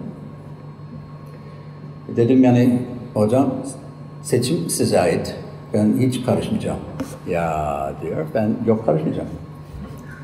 Ee, kendinden geldi William Butler Yeats istedi. Yani İrlandalı bir tane İrlandalı yaptık ne olacak? Ondan sonra şey veriyordum, tasarım, şey diyordum. Bak, siz tasarlayacaksınız, siz seçeceksiniz. Ne karar veriyorsunuz? Basacağım, yayınlayacağız. Bak, itimat ediyorum. Ve o tasarımcılar en iyi, hayatında en iyi, en güzel, en şık, en sevdiği olan tasarım işler. Mesela şey, Bizim küçük Alman çocuğumuzun ismi ne? Timuçin İnan. Timuçin. Timuçin mesela şey diyor ki benim en iyi tasarladığım kitap e, şey grafik eserlerimden bir yani benim portföyün her zaman başında koyuyorum yani sizin yaptığım şeyler misal olarak. Çünkü itimat ettim. Ezmedim, üstünde durmadım, klavye yapmadım, kafasını okşamadım, hiçbir şey yapmadım. Ha? Şimdi bu kazanabilmek, bu durumu gelebilmek Nevzat Bey'e anlatıyordum. Nevzat Bey şey dedi, yani bu prezentasyon olacak. Herkes kaçtı, kaytardı. Şarkır olacaktı, o da kaytardı. Çok korkuyordu. Sonunda yani bütün marketing department, bir tek ben vardım, bir Nevzat Bey vardı. Nevzat Bey'e sunmak, kronometreye sunmak gibi bir şey. Neredeyse sesler geliyordu. Yani yani beş dakikanın içerisinde ya saadete geliyorsunuz ya evet. Şimdi biz sunmaya başlıyoruz. Bu eskiden bu prezentasyonlar paftalar hatırlıyor musun? Pafta. Bo- Boardlar, boardlara yapıştı. Boardlar, evet biz boardlar. Bu prezentasyon büyük bir prezentasyon. Yani çünkü planning vardı, conceptual development vardı, oo, neler neler. Şimdi biz oraya koyuyoruz, koyuyoruz, koyuyoruz, koyuyoruz, koyuyoruz. Nevzat Bey oraya kadar, oraya kadar geldi, oraya kadar geldi, oraya. Ama presentation ortasında daha sunamadım işi. Ve şey dedi, tamam Paul, kabul. Ben dedim Nevzat Bey gösteremedim daha. Kabul. Tamamdır, tamamdır. Anladım, tamamdır. Çok iyi, tamam. Ben Nevzat Bey göstereyim yani daha göstermedim yani şey, Allah aşkına. Ee, yok tamamdır Paul. Ben diyorum Necap işte, itiraz etme artık yani. Şey, maksat bu toplantı nedir? Benim kabul. Kabul ediyorum. Vazgeç artık tamam. İtimat etti. Şey sordum. Niye peki hala? Şey onu onu kabul etmedim. Siz de kabul ettim. Dedi. Bak Necap Bey yönetim tarzı olarak böyle yaptı. Şimdi geldi kötü iş yaptı böyle bir adam. Ben o yani benim olanaklarım ne var ne yok yapardım bu adam için. Şimdi onun için Ne- Necdet Bey Allah rahmet eylesin müthiş bir insandı. Neyi yapabilirsem yaparım o aile için. Bir de gerçekten yani ağaç meyveden anlaşılıyor. Bu önemli bir ağaç bu aile. Hangi markaları yaratmıştınız Eczacıbaşı için? Favori olanım okey. Ee, Vitra, Selpak galiba. Selpak, Solo. Ee, bir sürü. Yani ama en favori. Hali hazırda Vitra için bir şeyler daha yapıyoruz. Devam ediyor mu hala onların için? Hmm. Reklam kısmı yapmıyorum. Şey yapıyoruz. Design projeler. Çok hoşuma gidiyor. Vitra güzel bir marka. Milli tasarım markamız. Zannediyorum. Sormak istediğin? Evet, sağ olun. Buyurun. Bir mikrofonu arkadaş uzatsın size. Merhaba. Merhaba. Ee, Ben bir şey merak ettim. Demin reklam sektöründe çöken bir modelden bahsettiniz ve sizin kendinizin başka bir modelde, yeni bir modelde, İngiltere'de ortaya çıkmakta olan başka bir modelde bir firma kurduğundan bahsettiniz. Ha. Ben e, bu firmanın neye göre temellendiğini, neleri değiştirdiğinizi, nelerin çöküş işareti olarak gördüğünüzü ve bu yeni firmanızda e, neye göre şekillendirdiğinizi kısaca merak ediyorum. Çok mersi. Yani çok teşekkürler. Çok. Şimdi yeni şirket, e, biz reklam ajans model Türkiye'de e, yeniden düşünülmesi gereken olan bir şey. Şu anda iki şey söyleyeceğim. Siz diyeceksiniz, şey, hiçbir reklam ajans şu anda Türkiye'de kârda değil. Bazı ajanslar sadece faaliyet yapıyor, şey, tazminat ödememek için çünkü böyle paralar yok. Borçlar neredeyse istikbal boğmuş şeklinde. Bir. Hiçbir galeri şu anda para kazanmıyor Türkiye'de. Bir iki tane istisna ama bunlar başka sebeplerle. Bunlar iyi indikatör değil. Hı? Sanat da para kazanmadığı takdirde kazanıyor başka sebeplerle. Şimdi neden bunu anlatıyorum? Şu anda yeni örgütleme, yeni tasarım örgütleme, yetenekler yeni. Mesela şu anda bazı projeler var. Bu projeler ben bütün görsel yetenekler Türkiye'de buluyorum. Kimle çalışmak istediğini buluyorum. Efendim ruhani şeklinde her şey buluyorum. Yani şey diyelim fotoğraf, film, eee execution konusunda eksik yok Türkiye'de. Editör, yazar, çizer, proje, description, e, insight, insight. Çünkü biz temelde insight satıyoruz. Reklam ajanslar insight satıyor. Ha? Için meslekse eğer insight var. So bu insight elde edebilmek için biz RPM Fitari ajansımız planning department ilk kuran ajans biziz. Stratejik planlama. Stratejik planlama. İlk biz kurduk. Ee, hatta ilk başvuranlar yani kimler kimler geldi. Fatma Nair bir bayan ilk planörümüz ve hali hazırda bence en iyilerden ve inanılmaz güzel projeler yaptı. Biraz hükümet gibi bir kadın. Böyle bir kadın. Bayıldım ama bizi neler kattı. Öyle bir disiplinerde bir şey. Ve böylelikle müşterilerim yani işte itimat ediyordu. Bizim söylediklerimiz yani işte böyle ay mavi seviyorum falan gibi ifadelerden yani anlatabiliyor muyum? Şimdi neden bir şey yapıyorsunuz? Neyi hitap etmeye çalışıyorsunuz? Neyi okşamaya çalışıyorsunuz? Şimdi bizim yeni model bazı kaynaklar kullanmak hitap eden yeni model. Yeni model legacy'nin üzerinde en fazla. Türkiye'de bir büyüklük olarak yani şey, bizim Cumhuriyet'in uzunluğu ve Türkiye'nin TÜSİAD şirketlere bakıldığı zaman bir bu yıl Eczacıbaşı'nın 75. yıl. Çok nadir şirketler var Türkiye'de 100 yıllık, 150 yıllık, 150 yıllık yok, 125 yıllık falan var. Şimdi bir şirket bir 150 yıl, bir 75 yıl mesela Eczacıbaşı gelecek yıl legacy. Yani peki ne yaptın 75 yılda? Bu neyi anlama geliyor? Yani her gün işe geldik, çalıştık. Allah bin şükür. O kadar şey hamdolsun. Var yani şey hamdolsun. Hamdolsun. Şimdi bu hamdolsun yetmiyor. Çok önemlidir. Teşekkür her zaman en önemli şey bizim meslekle ilgili ama e, legacy zamanı geldi. Legacy aynı zamanda mana getirebilir. Mesela İKSV 40 yıl yaptı, ne yaptı? Collection nerede? Hangi collection'ı var? Hmm, I don't see it. Ee, hangi eserler, hangi müzik eserler?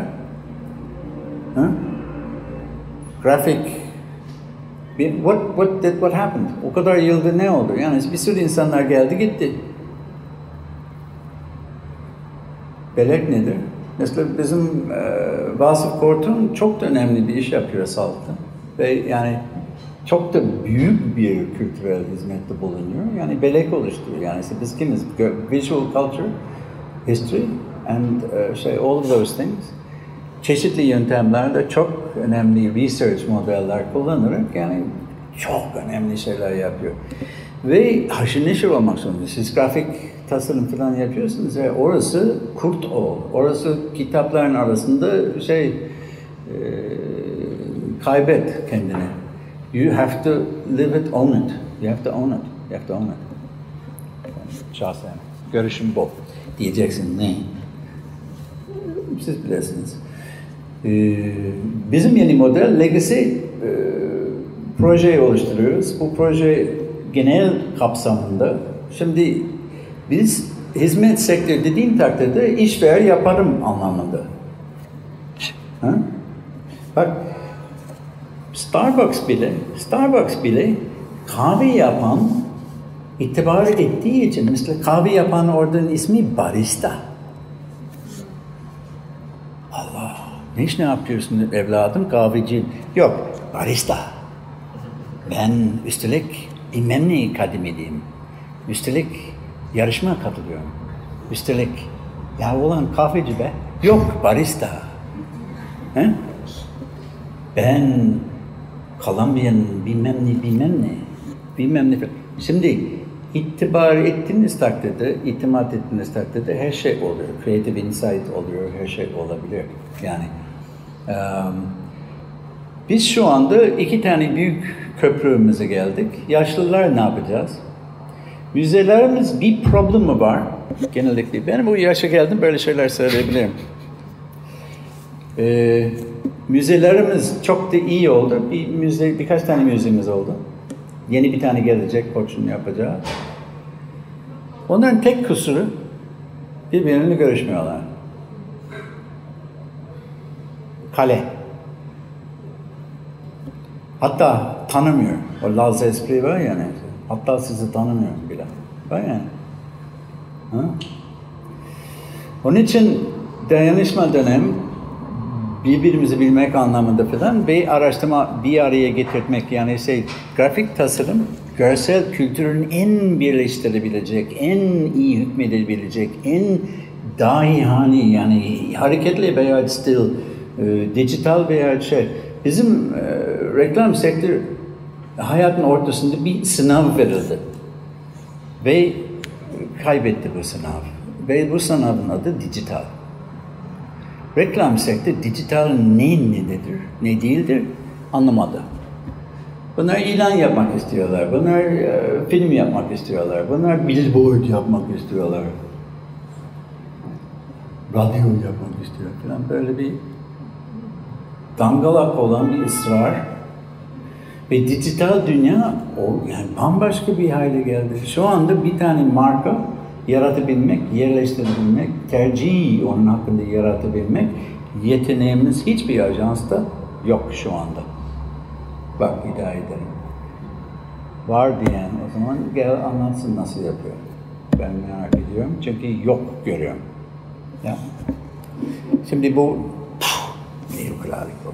Ama tasarımın burada büyük T'li yazmak gerekecek ve how interactive it can possibly be with all of the other uh, say existential manifestations with architectural space with uh, say cyberspace with personal space with art artisan tarafta mass produced tarafta her şey bir arada onun için bu ha diyeceğim yani en heyecan verici dönem demek. You choose how you want to be engaged, that's all. Diyebilirsiniz, yok ben evde oturacağım, logo yapacağım. Aa, kurumsal kimlik yapıyorum. Diyorsunuz yani beş, teklif veriyorsunuz 5 bin lira, birisi diyor 2 bin lira. Başka birisi diyor bedava yapın. Yani o espri var yani bu espri maalesef sizin segment öldürmüş. Hmm? So, cevap verdim mi? Ver, yani kısmen verdim. Şimdi 3-4 tane büyük proje yapıyoruz. Bir e, birkaç sohbetimiz var. Şöyle keşfettik biz, kendi proje icat ediyoruz bu arada. Yeni model oluşturuyorum. Bir baktım, dünyanın projeler yapılabilir ama I don't need a müşteri. Ben şimdi müşteri gerekmiyor. Bir bilinç çıktı. Yani çok güzel bir duygu. I don't need a müşteri. Olan brand manager'lar I don't want them. Marketing manager I don't want them either. Yönetim kurulu başkanlar kaybol. I don't want to know you. İhtiyacım yok. We're doing our own shit. Ha, o zaman tasarımcı oluyor. Çünkü esas duygu şey geçmesi lazım yani şey, bu şirket benim olsaydı ne yapardım? Hmm.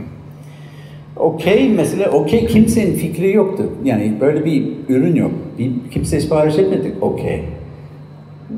Rahmetli Vebi Koç aylık planlama vakfının başındaydı. Nejat Bey onun arkadaş. Bir araya ne yapabiliriz? İletişim bana verdiler.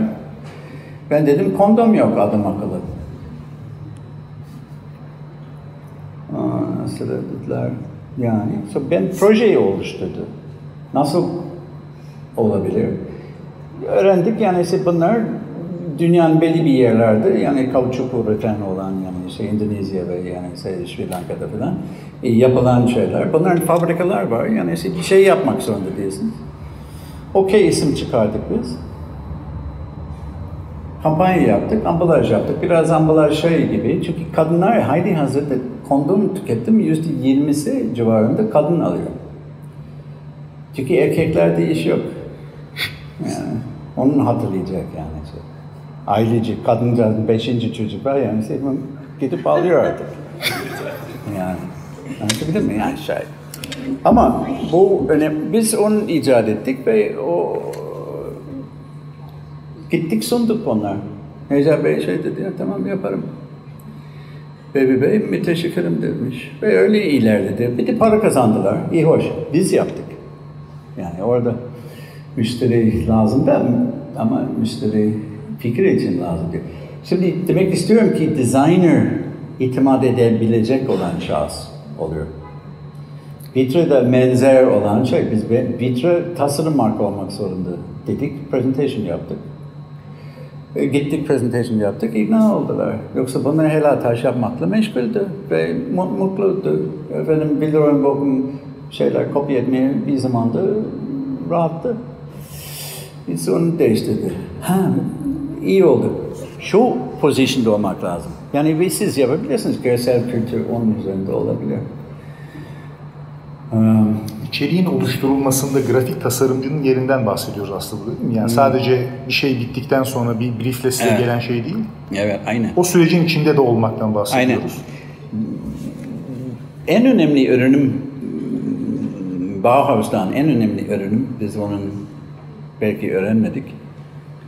Ee, çünkü Bauhaus yani sadece e, kareler ne yaparsınız gibi bir halinde bıraktık. Modernizmin ayo beğeniyorum oluyor. Ee, Mersi orası you, you create your own concept.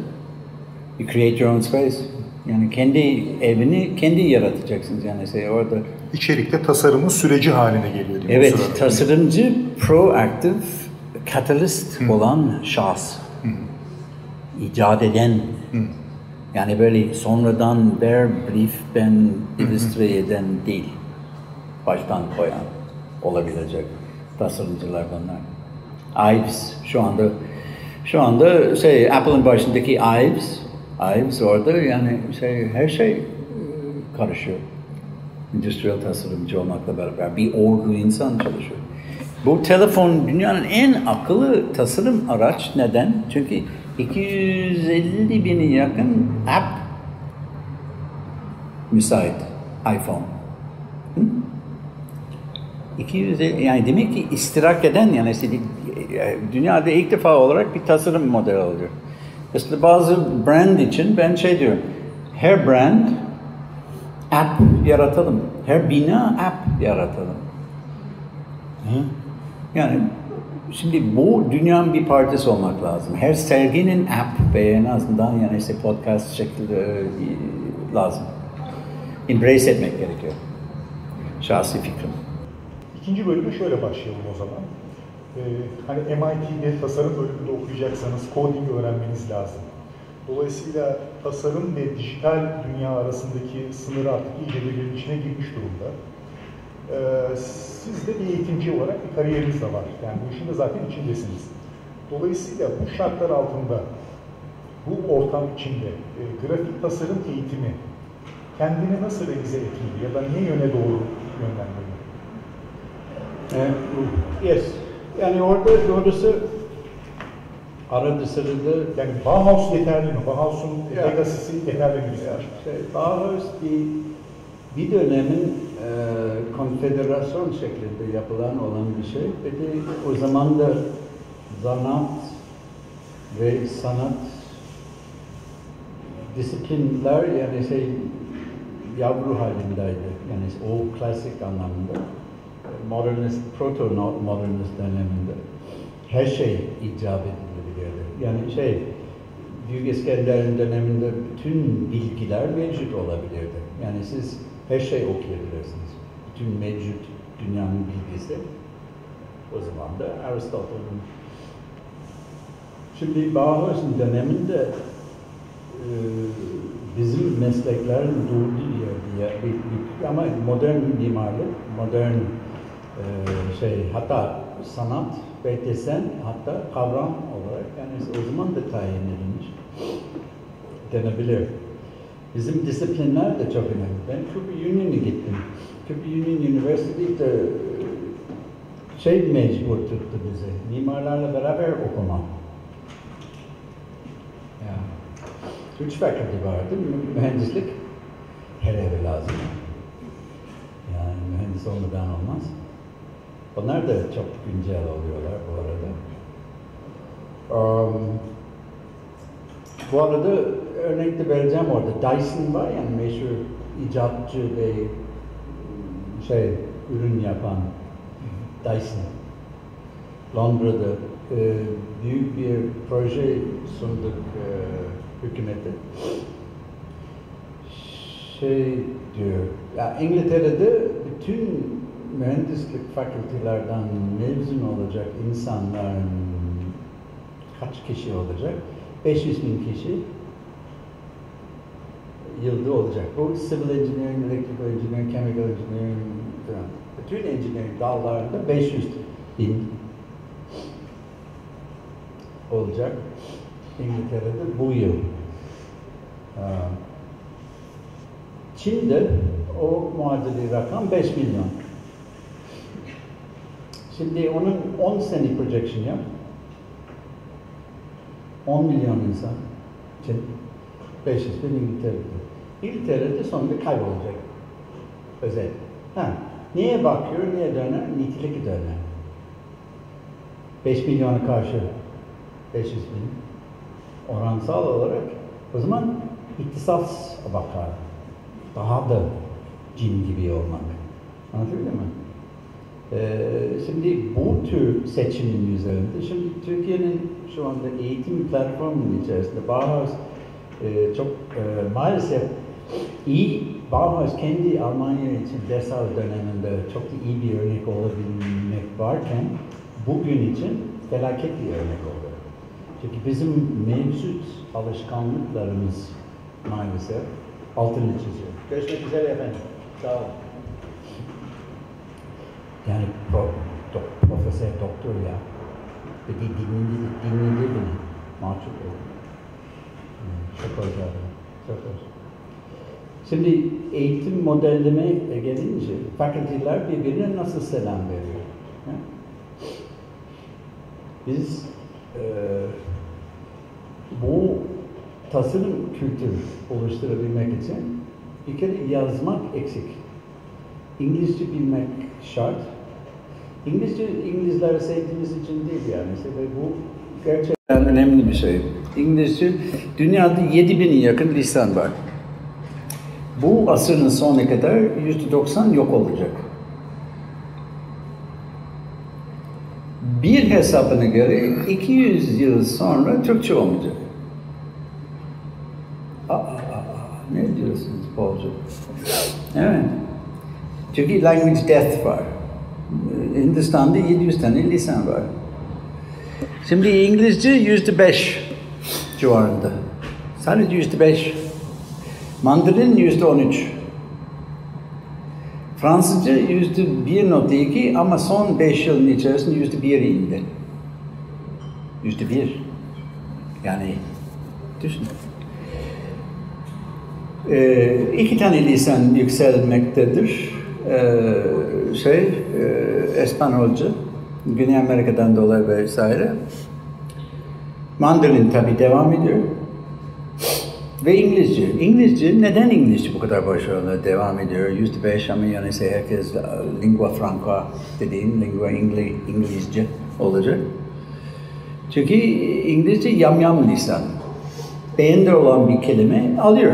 Aa, alayım bana. Ben bir girlfriend vardı bir tarihinde. O benim olsun. Öyle İngilizce böyle bir şey. Ee, bir de şirinlik yapmadan yapıyor. Alayım. O benim. Yapıyor. Ee, İngilizce maalesef coding, IT, artificial intelligence, design, future,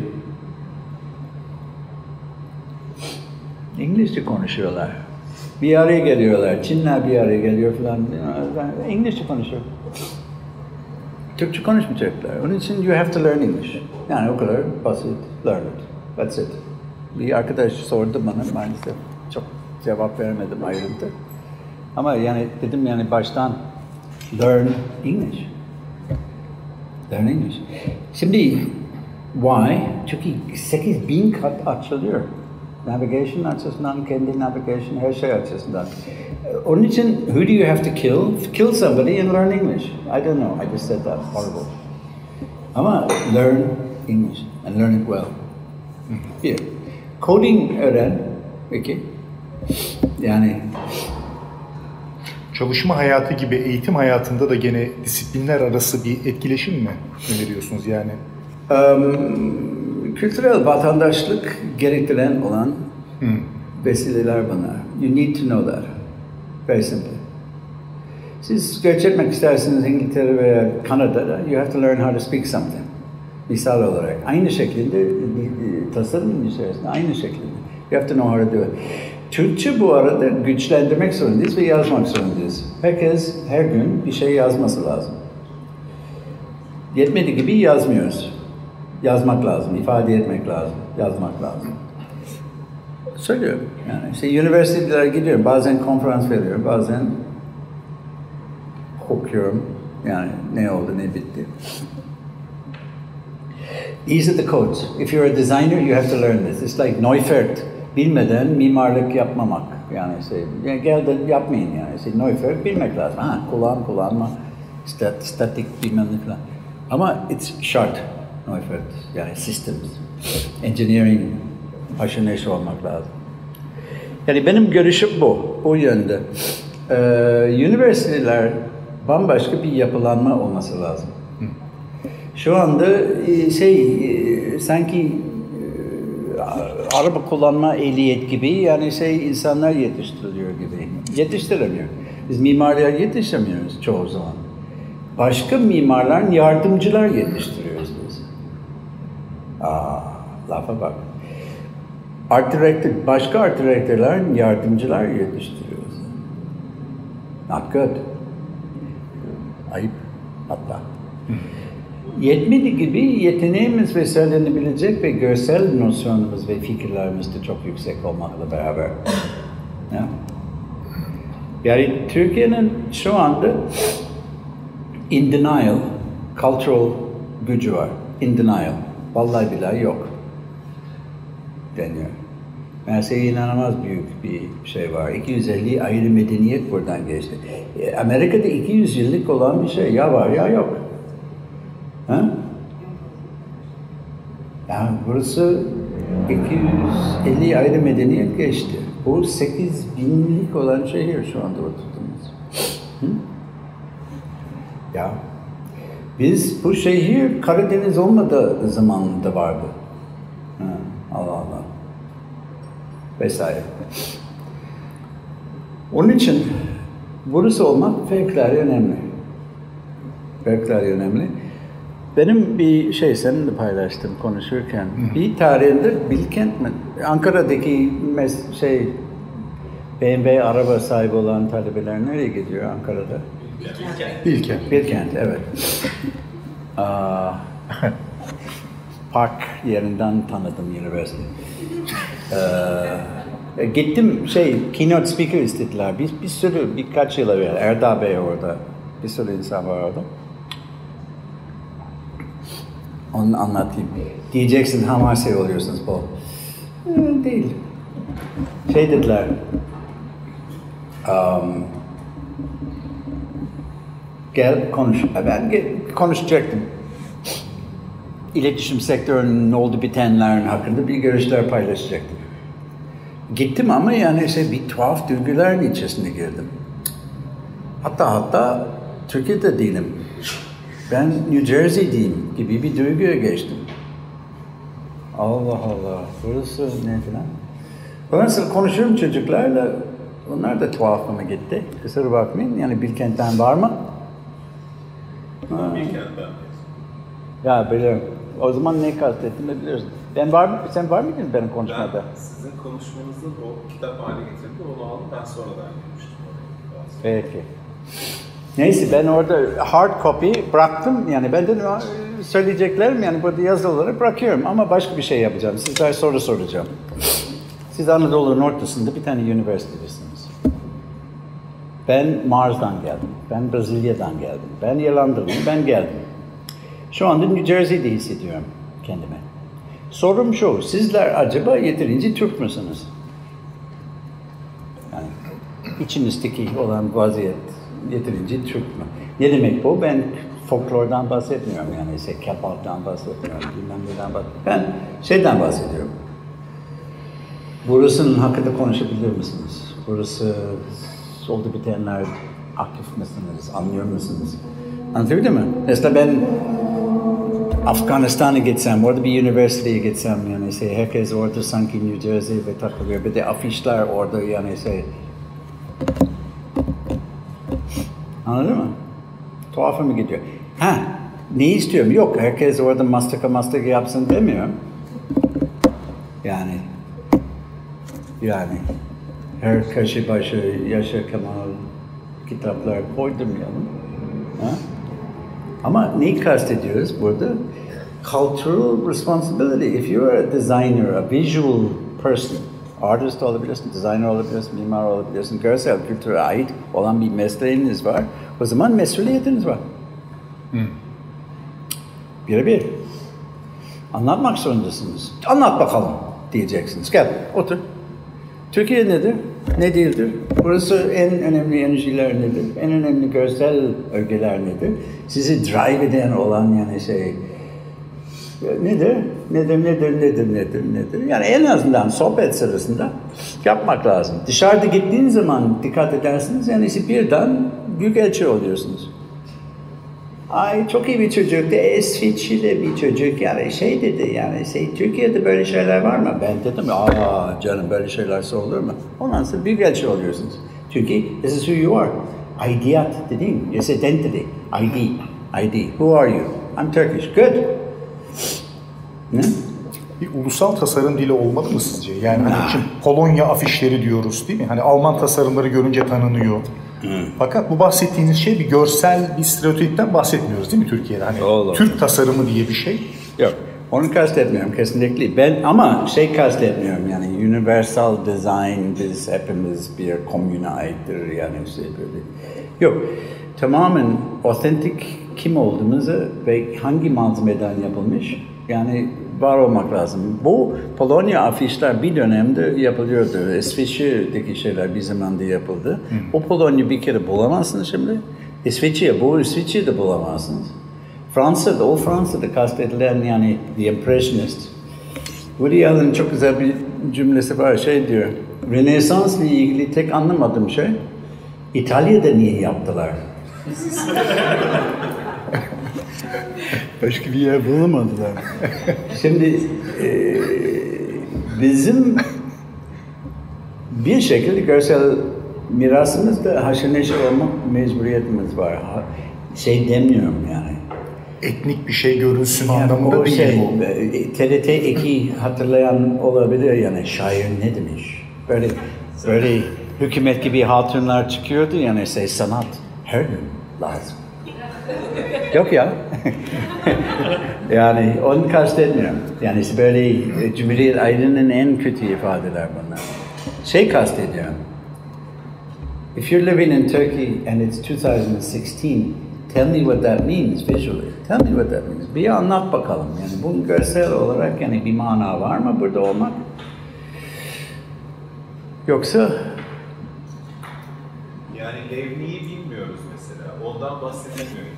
Bauhaus'u konuşuyoruz, işte Joseph Albers'i konuşuyoruz, Golden Gropius'u konuşuyoruz ama Levni hakkında hiçbir bilgimiz yok ki Türk görsel kültüründe çok önemli bir yeri var. İşte Evet. müzikte ıtri yok. Bunları Yok. ne yazık ki tanıyamıyoruz o anlamda. Hani kendi geçmişimizle bağımız bu bağlamda açıkçası biraz kopuk. Cumhuriyet devrimi ve onun yarattığı bir hani geriye doğru Cumhuriyete bakmama, ileriye doğru lazım suçu da ben öyle de görmüyorum. O anlamda oradan yetişen kişilerde de unutmamak lazım ki onlar zaten o kültüre hakim yani o bir bakış açısı. Kesinlikle hani onu reddetmek anlamında Doğru, doğru. düşünmüyorum. Türkiye'yi kuranlar da Osmanlılar Yani sonuçta tamam. Orada hemen bir suçlanan tavır oluyor ama ben Evet. kaynaklanmıyor. Nedir sence? Bu biraz e, açıkçası meraksızlık gibi. Yani e, hani sadece verimini almak ve sorgulamamak. E, daha derinleşmemek, hani daha yüzeysel kalıp Belki oradan devam etmek. Ama eğitim politikaları da öyle. Küçükten beri böyle, Tabii. böyle yetiştirirsen birisi, Evet, evet. böyle olması çok Tabii. zordur. Doğru. Zaten ondan en çok etkilenen nesil biziz yani. Ben Biz İtalyan 80 Lisesi'nde okurken Türkiye'de Nazım Hikmet okumak yasaktı. İtalyan kitaplarında Nazım Hikmet şiiri okudum. Evet. Bana zor geliyordu. Üzülüyordum. yani Yasaktı. Evet. Türkiye'deki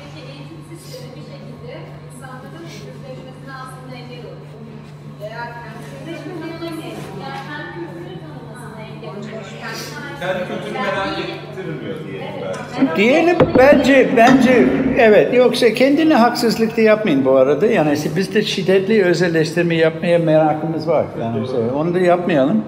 Yani ben şey bir de ben yabancıyım yani. Üstüme ecnebilik var ya. Şey bana böyle birden yani şey birden bir bir keyifli Türkiye'nin kötülükler anlatmaya keyif duyan insanlar var.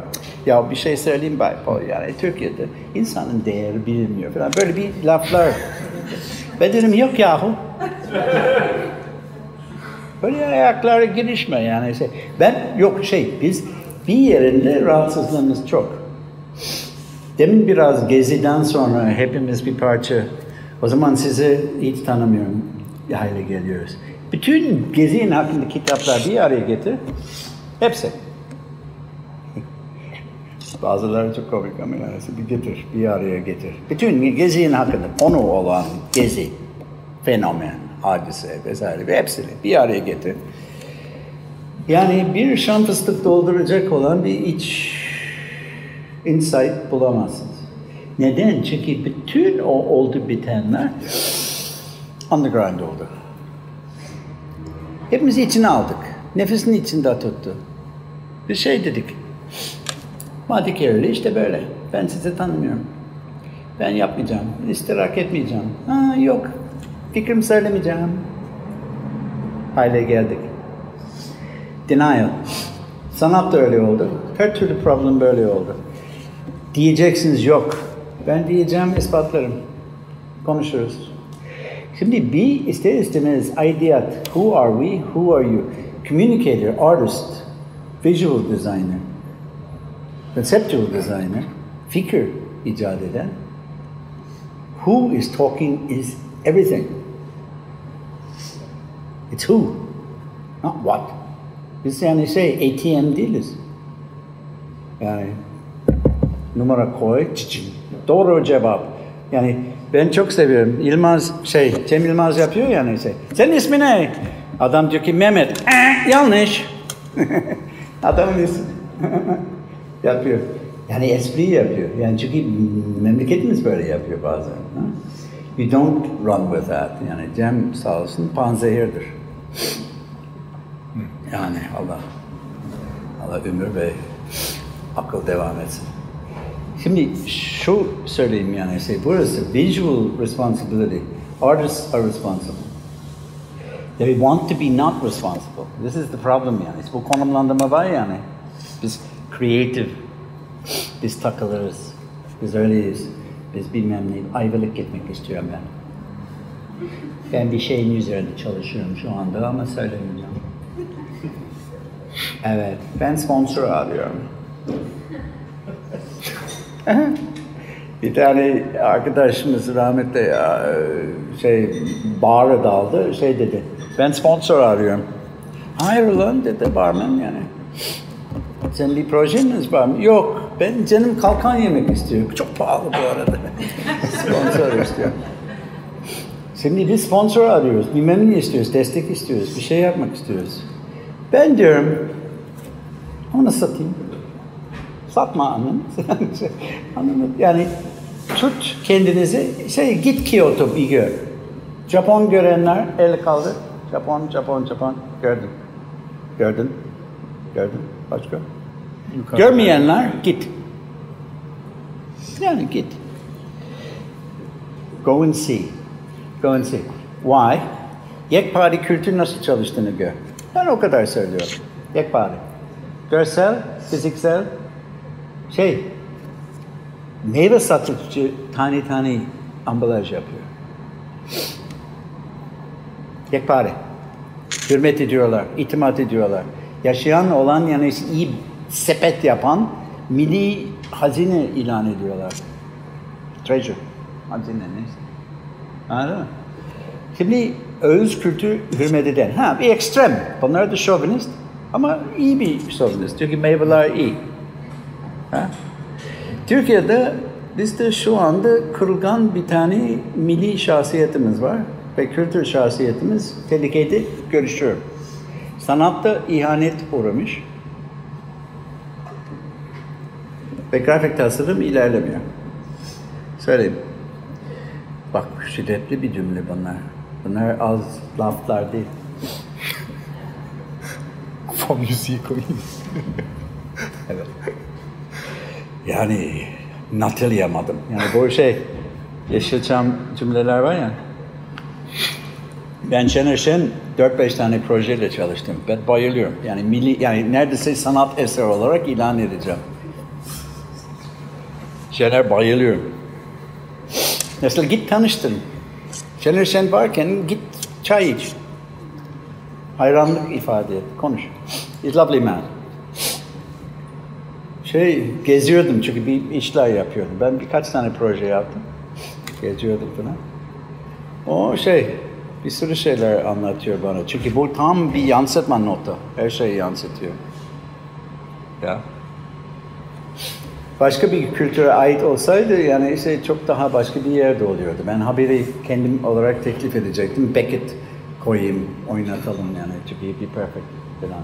Waiting for Godot, perfect. Yani. Yani.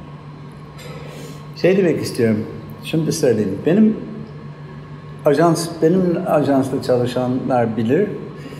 İlk soru sordum zaman, yani herkes, muhasebeci, yardımcılar dahil, herkes son interview ben yapıyorum. Sadece kreatif değil. Müşteri temsilciler, herkes. Ben yapıyordum sonunda. Merak ettim için. Beraber oksijen tüketeceğimiz için. Ve her zaman önemli, e, tek soru soruyordum bazen. Sorusu bu. Diyeceksin Hamasi. Hamasi değil, sentimental değil bu. İletişim şirketi bu. Ben dedim, do you like Turkey? Beğeniyor musunuz Türkiye?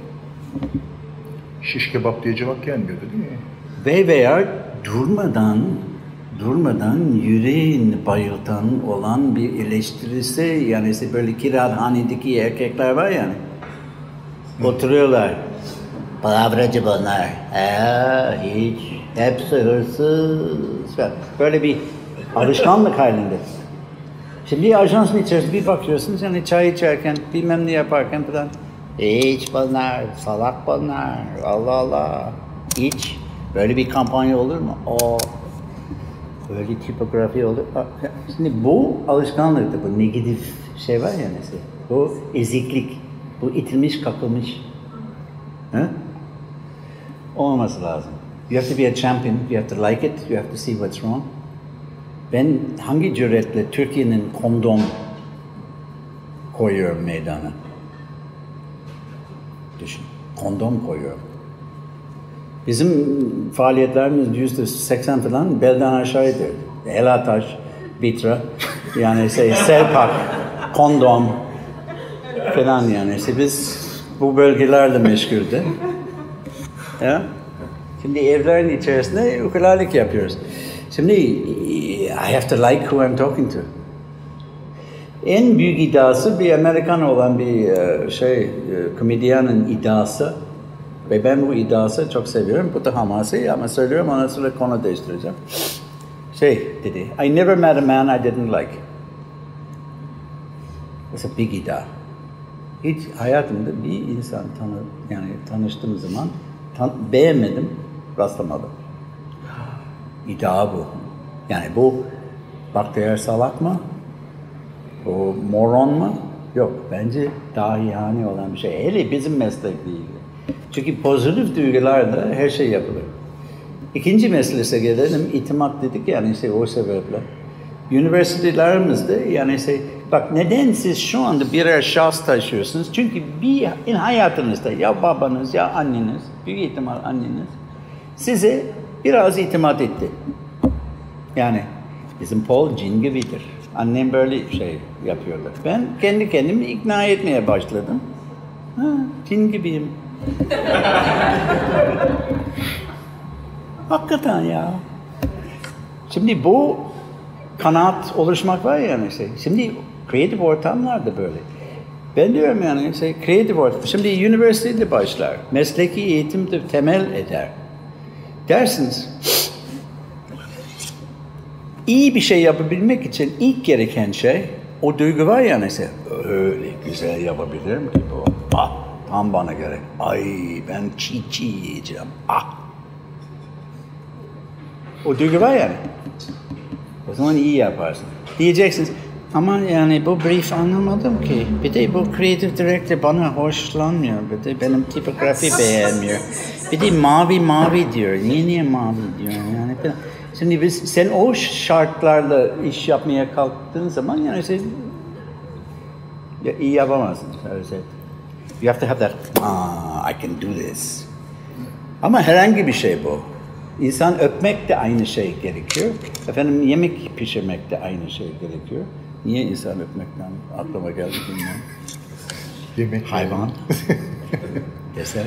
Şey, e, reality bu. Onun için şey, the human condition is our subject, our visual culture is our responsibility, design is that. I like to think of myself, bak İrlandalıyım, um, anlatıyorum maalesef söylüyorum fazlasıyla. Ben, I'm a Turkish designer. If I'm anything, I'm a Turkish designer. If I'm a photographer, I'm a Turkish photographer. In büyük ittifak, in Turkish photography collections, they call me Turkish photographer. I like this. Diyeceksiniz niye? Çünkü first of all, İrlanda'da görsel kültür boktandır.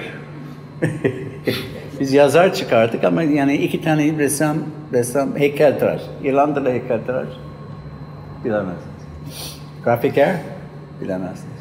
Yazar, yazdılar. İçtiler, yazdılar, içtiler, yazdılar. Savaş ettiler. O kadar İrlanda bu. Espri. I'm Turkish because I lived here. I, I nüfus ettim burada. This is my responsibility. When I go to England, this is what I do. That's what I do. Anlatabildim mi? Bu mana veriyor musunuz yoksa bu şey? Çünkü üniversitelerde kapalı yani bunlar kümes. Herkes rajon oluşturuyor. Rajon. Bu rajonlar sizi öldürebilir. Çünkü yeterlilik oradan anlarsınız. Ha ya hocam onu beğendi, onu beğendi. Ben B verdi, onu C aldım, o bilmem ne. Bu fena değil. Bu fena. Yani siz öyle bir hı, ezik vaziyet. So, design culture that. Photography. Photography dünyanın en labali sanat dalı. Herkes fotoğrafçı ve her fotoğraf yani oynayabilir. Panasonic bir kamera çıkardı. Son algoritma ait olan kamera. Güzel çekiyor. Sizin biliyor, senin dişler beyaz istiyorsun, senin saç böyle hafif parlak istiyor. Gözlerin içi beyaz kısmı parlak gözler şey istiyor. Cilt pürüzsüz istiyor. Renkler canlı canlı ve tatlı istiyorsun. Algoritm koydular. Çektiğin zaman böyle çıkıyor. Kendinden rötuşlu. Kendinden rötuş. Herkes güzel oluyor. Facebook için lap içeride.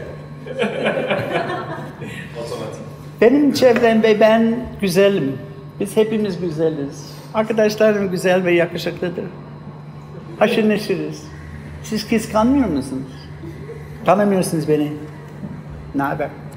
Yani böyle bir bir dünyadayız. Onun için graphic design bu işin içinde nerede oluyor? Design books, design magazines, design films, design films, editing, editing, motion graphics, motion graphics, graphic design, graphic design, motion graphics. Learn how to do motion graphics.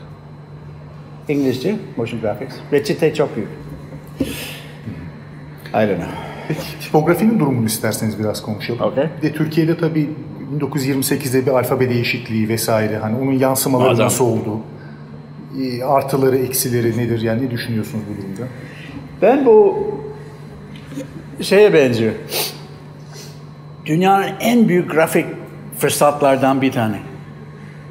Bir devlet büyük Atatürk demiş ki eski har- hurufat sistem Kaldırın. Latince yazacağız artık kardeşim. Öyle bir hurufatlar, öyle bir alfabeler, öyle bir tipografiler yapacağım ki yani işte dünya şey fethedeceğim, kavgalarını yapacağım. Vay canım fırsata bak. Ne yaptık? Helvetica çok kullandık. Üniversite beğeniyorum. Optima güzel çünkü hem biraz sans serif hem biraz serif gibi bir arada. Falan. Grafikerler tipografi konusunda Allah korusun. Gece. Meğerse bu bir fırsat. Bülent Erkmen sokak tipografi yapıldığı zaman ben merak ettim. Ben haberi Bülent rahatsız etmek için varım bu dünyada. Rahatsız değil çünkü ben onun katkıları müthiş ve onun saplantılar da çok önemli. Ve doğrusu bir vakıf gibi çalışıyor yani.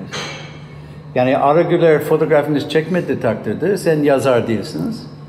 Ve Bülent Erkmen kitap yapmadığınız takdirde şey, aynı şey söyleyebiliyorsunuz. Vakıf değilsiniz. Yani diyebiliriz. Şimdi bu, bu nedenle ve çok demek ki çok şey katıyor. Ben sadece bunu söyledim. İstanbul dünyanın en karizmatik şehir, dünyanın en karizmatik okunaklılık efendim fiziki olarak yapılması gereken onu anladım. İşlevsellik anladım. Yani elbet. İstanbul en esrarengiz, en heyecan verici, en bilmem ne şehir. Levalar, sokak isimler bu mu olmalıydı?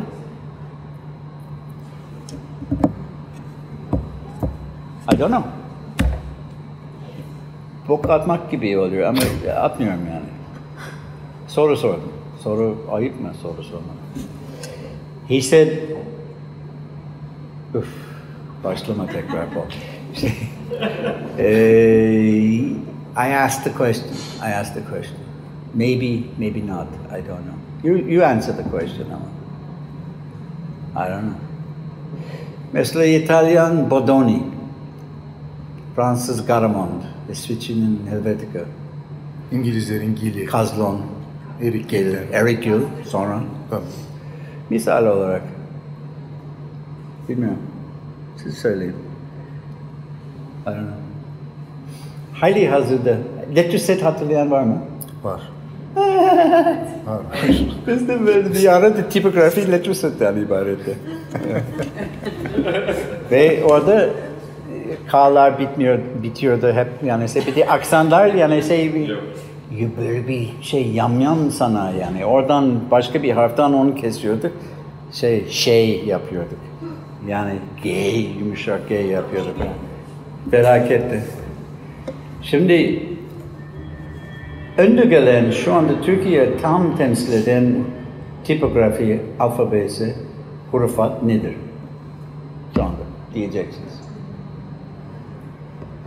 Hangi?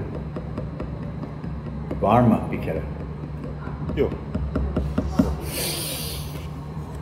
O zaman meclis dışarı konuşuyoruz o zaman.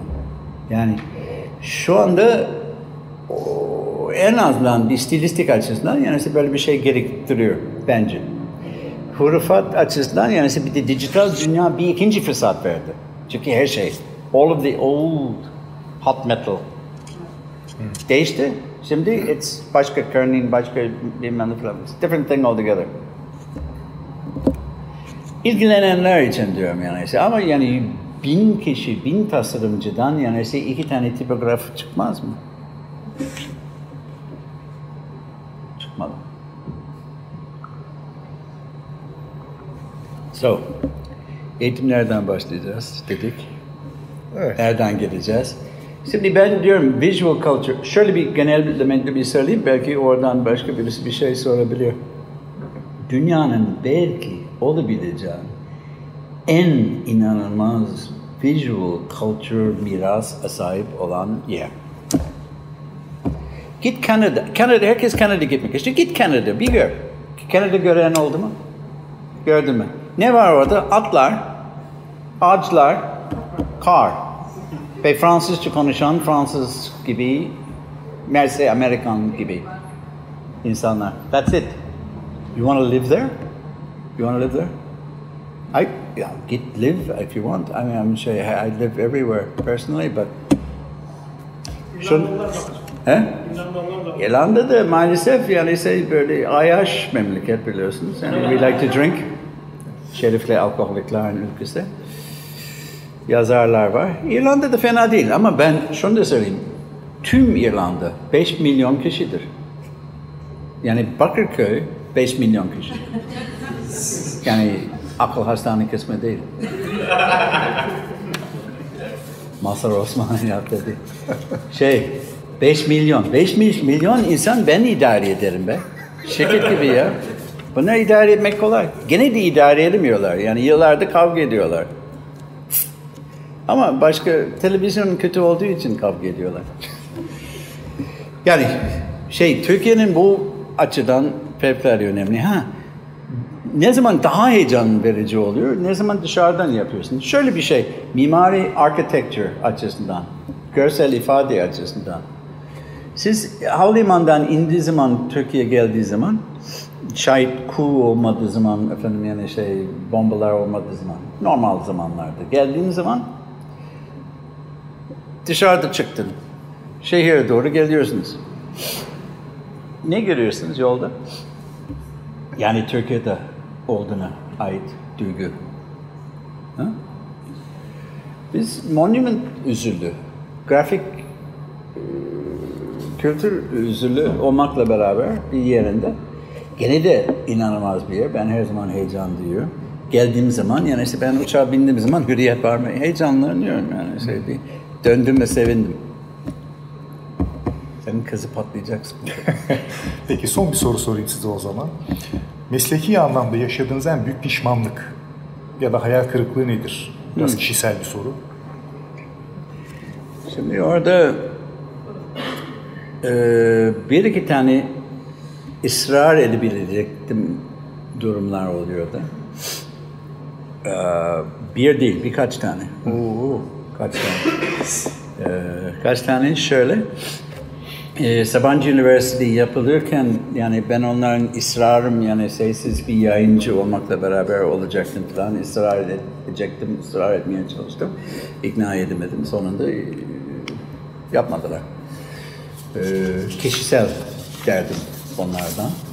İstanbul Mar'ın olması gereken bazı şeyler kazandıramadım. Biraz kendi istikametin üzerinde gitti. Kendi dediğin yani işte biraz bana sorarsınız önemli bir müze Haydi Hazır'da olmakla beraber e, olması gereken gerisinde düşünüyorum. Biraz kolay yoldan gitti. Ve zordur. Yani yanlış anlamayın yani müze yapmak zor. Ee, Sabancı Müze de öyle. Yeni çıkacak müze. Gene de bunların başına etmiyorum. Ne olacaksınız? Contemporary Art, New e, şey e, Koç Museum. Contemporary Art olacak. Onlar şey yapıyor. Um, İKSV Commissioning ikna edemedim için. Şey, koleksiyon yapan, ben de koleksiyon yapan sanatçılar yani ısrar etmeye çalışıyorum. Ben koleksiyon nasıl yapıyorum? Fotoğraf koleksiyonu devam ediyor benim. Nasıl yapıyorum söyleyeyim mi? Yani galeriler gidip o fotoğrafını beğendim. Küçük bir kırmızı nokta yanına koyalım. Ben de kolektörüm. Ayo. Hava yapmıyorum. Şey yapıyorum. Fotoğrafçılar tespit ediyorum. Beğendim vesaire. Soruyorum. Ne yapmak istediğin? Bir şey var mı? Ondan sonra genellikle bir proje var, bir şey var. Ben diyorum peki bu konuda böyle bir yardım etsem olur mu? Ee, olur. Mesela birisi St. Martin's'ta bir semester çalışmak istedi bir konunun üzerinde. Onu yolladım. Ne olacak? İlla fotoğraf verecek anlamda değil. Böyle bir şey. Çünkü koyacak yerim yok. Bazı şeyler ayrıca da yani veriyor bazen yani ayıp ayıp oluyor reddetmek ama. Ee, ben I'm trying to get lighter. Hafifletmeye çalışıyorum. Bütün o kitaplar beni öldürecek sonra da üstüme düşecek bir gün. Ama şey diyorum, commissioning. Onun için commissioner birisi itimat ettik takdirde yani var yani. If you believe in somebody, they do good things. This is what I've learned. İnandığınız olan birisi ve ilan edebilirsiniz, ikna edebilirsiniz. iyi şeyler yapıyorlar. O benim bütün ben creative dönem büyük şansım o an işte güzel genç yeteneklerle çalıştım. Her kreatif anlamında hem müşteri ilişki açısından hem planning açısından hatta finans departmanımız da çok da hoştu. Ee, böyle bir şansım oldu.